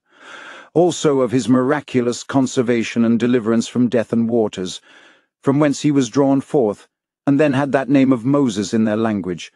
then his royal education and breeding, his love to his afflicted people, and his magnanimity to despise humane greatness, in preferring the just cause and sufferance of Christ, the Redeemer then looked for, before all the regal estate and great treasure of Egypt. Moreover, his sufferance long and bitter, for the defence of right and equity, and for the deliverance of the poor afflicted. His divine calling to the charge and government of his people, his patience, gentleness, and perseverance with such faithfulness, in the difficult execution of this weighty charge, and the singular gift of prophecy, and of his divine miracles so strange and supernatural, that they have been admired and celebrated of all the whole world. But there is one point above all, very remarkable, and which is more than sufficient to overcome humane reason, and to show the integrity of Moses, which is, that if he had would, he might easily, and according to the manner of men, have had the monarchy and domination for his children, and their posterity, upon all the people of Israel. And with the same, the two fertile kingdoms, reduced under his hand, and conquered beyond Jordan. Nevertheless, he left his sons, Gersom and Eleazar, and their posterity, private men, and of most simple estate, amongst the other Levites. And the same children remaining subject to the sacrifices, successors of Aaron, and to the magistrates and governors of Israel. More, that he hath himself written and enregistered his own proper faults, and yet more notable, those of his house, as of his brother, sister, and nephews, and the most remarkable judgments of God's chastisements and punishments of them all. Of which things all his people were witnesses, in number more than six hundred thousand persons, and if they could have contraried him for any falsity, either for the present or times to come. If he had been, I say, such as they could have found any brack in his actions, or in his writings, or falseness in either his person, or any of his, in his life, and his miracles, in his writings or end, but on the contrary, all the Hebrews and Jews, which have been since that time, and are now near three thousand years since, and that are dispersed through all the world, who are in so great a number, that if they were reunited into a body of people, and into a state, their multitude should be innumerable, and might astonish the greatest nation of the whole universe. All those, I say, have received from their ancient fathers, from their kings and princes, and their sacrificators and ancestors, from father to son, and from hand to hand, and with an admirable consent, even in the middle of so many confusions and dissipations, have kept, and yet keep always in their Bibles, the holy writings of Moses in their proper letters and Hebrew tongue, as books most true and veritable, sacred and divine, and such so known and acknowledged in all nations with the excellent testimony, authority and holiness of them, that Christ himself hath spoken of them, and the prophets and apostles also in their writings and allegations, I, and the most ancient pagans and strangers, cannot, with sound sense, but acknowledge them. And so, reader, although I have been, as I formerly said, something prolix, yet the excellency of the subject forced and bound me to be so tedious herein, to show, as an illustrious addition, the worthiness of the books and divine writings, as their antiquity, dignity, as also the excellency of their humane writer, from the dictate of the Most High. And being the matter whereof we have formerly treated, I held it not impertinent, though I have dealt too weakly in so worthy a business, but refer the rest in it to your charitable censure. Finis.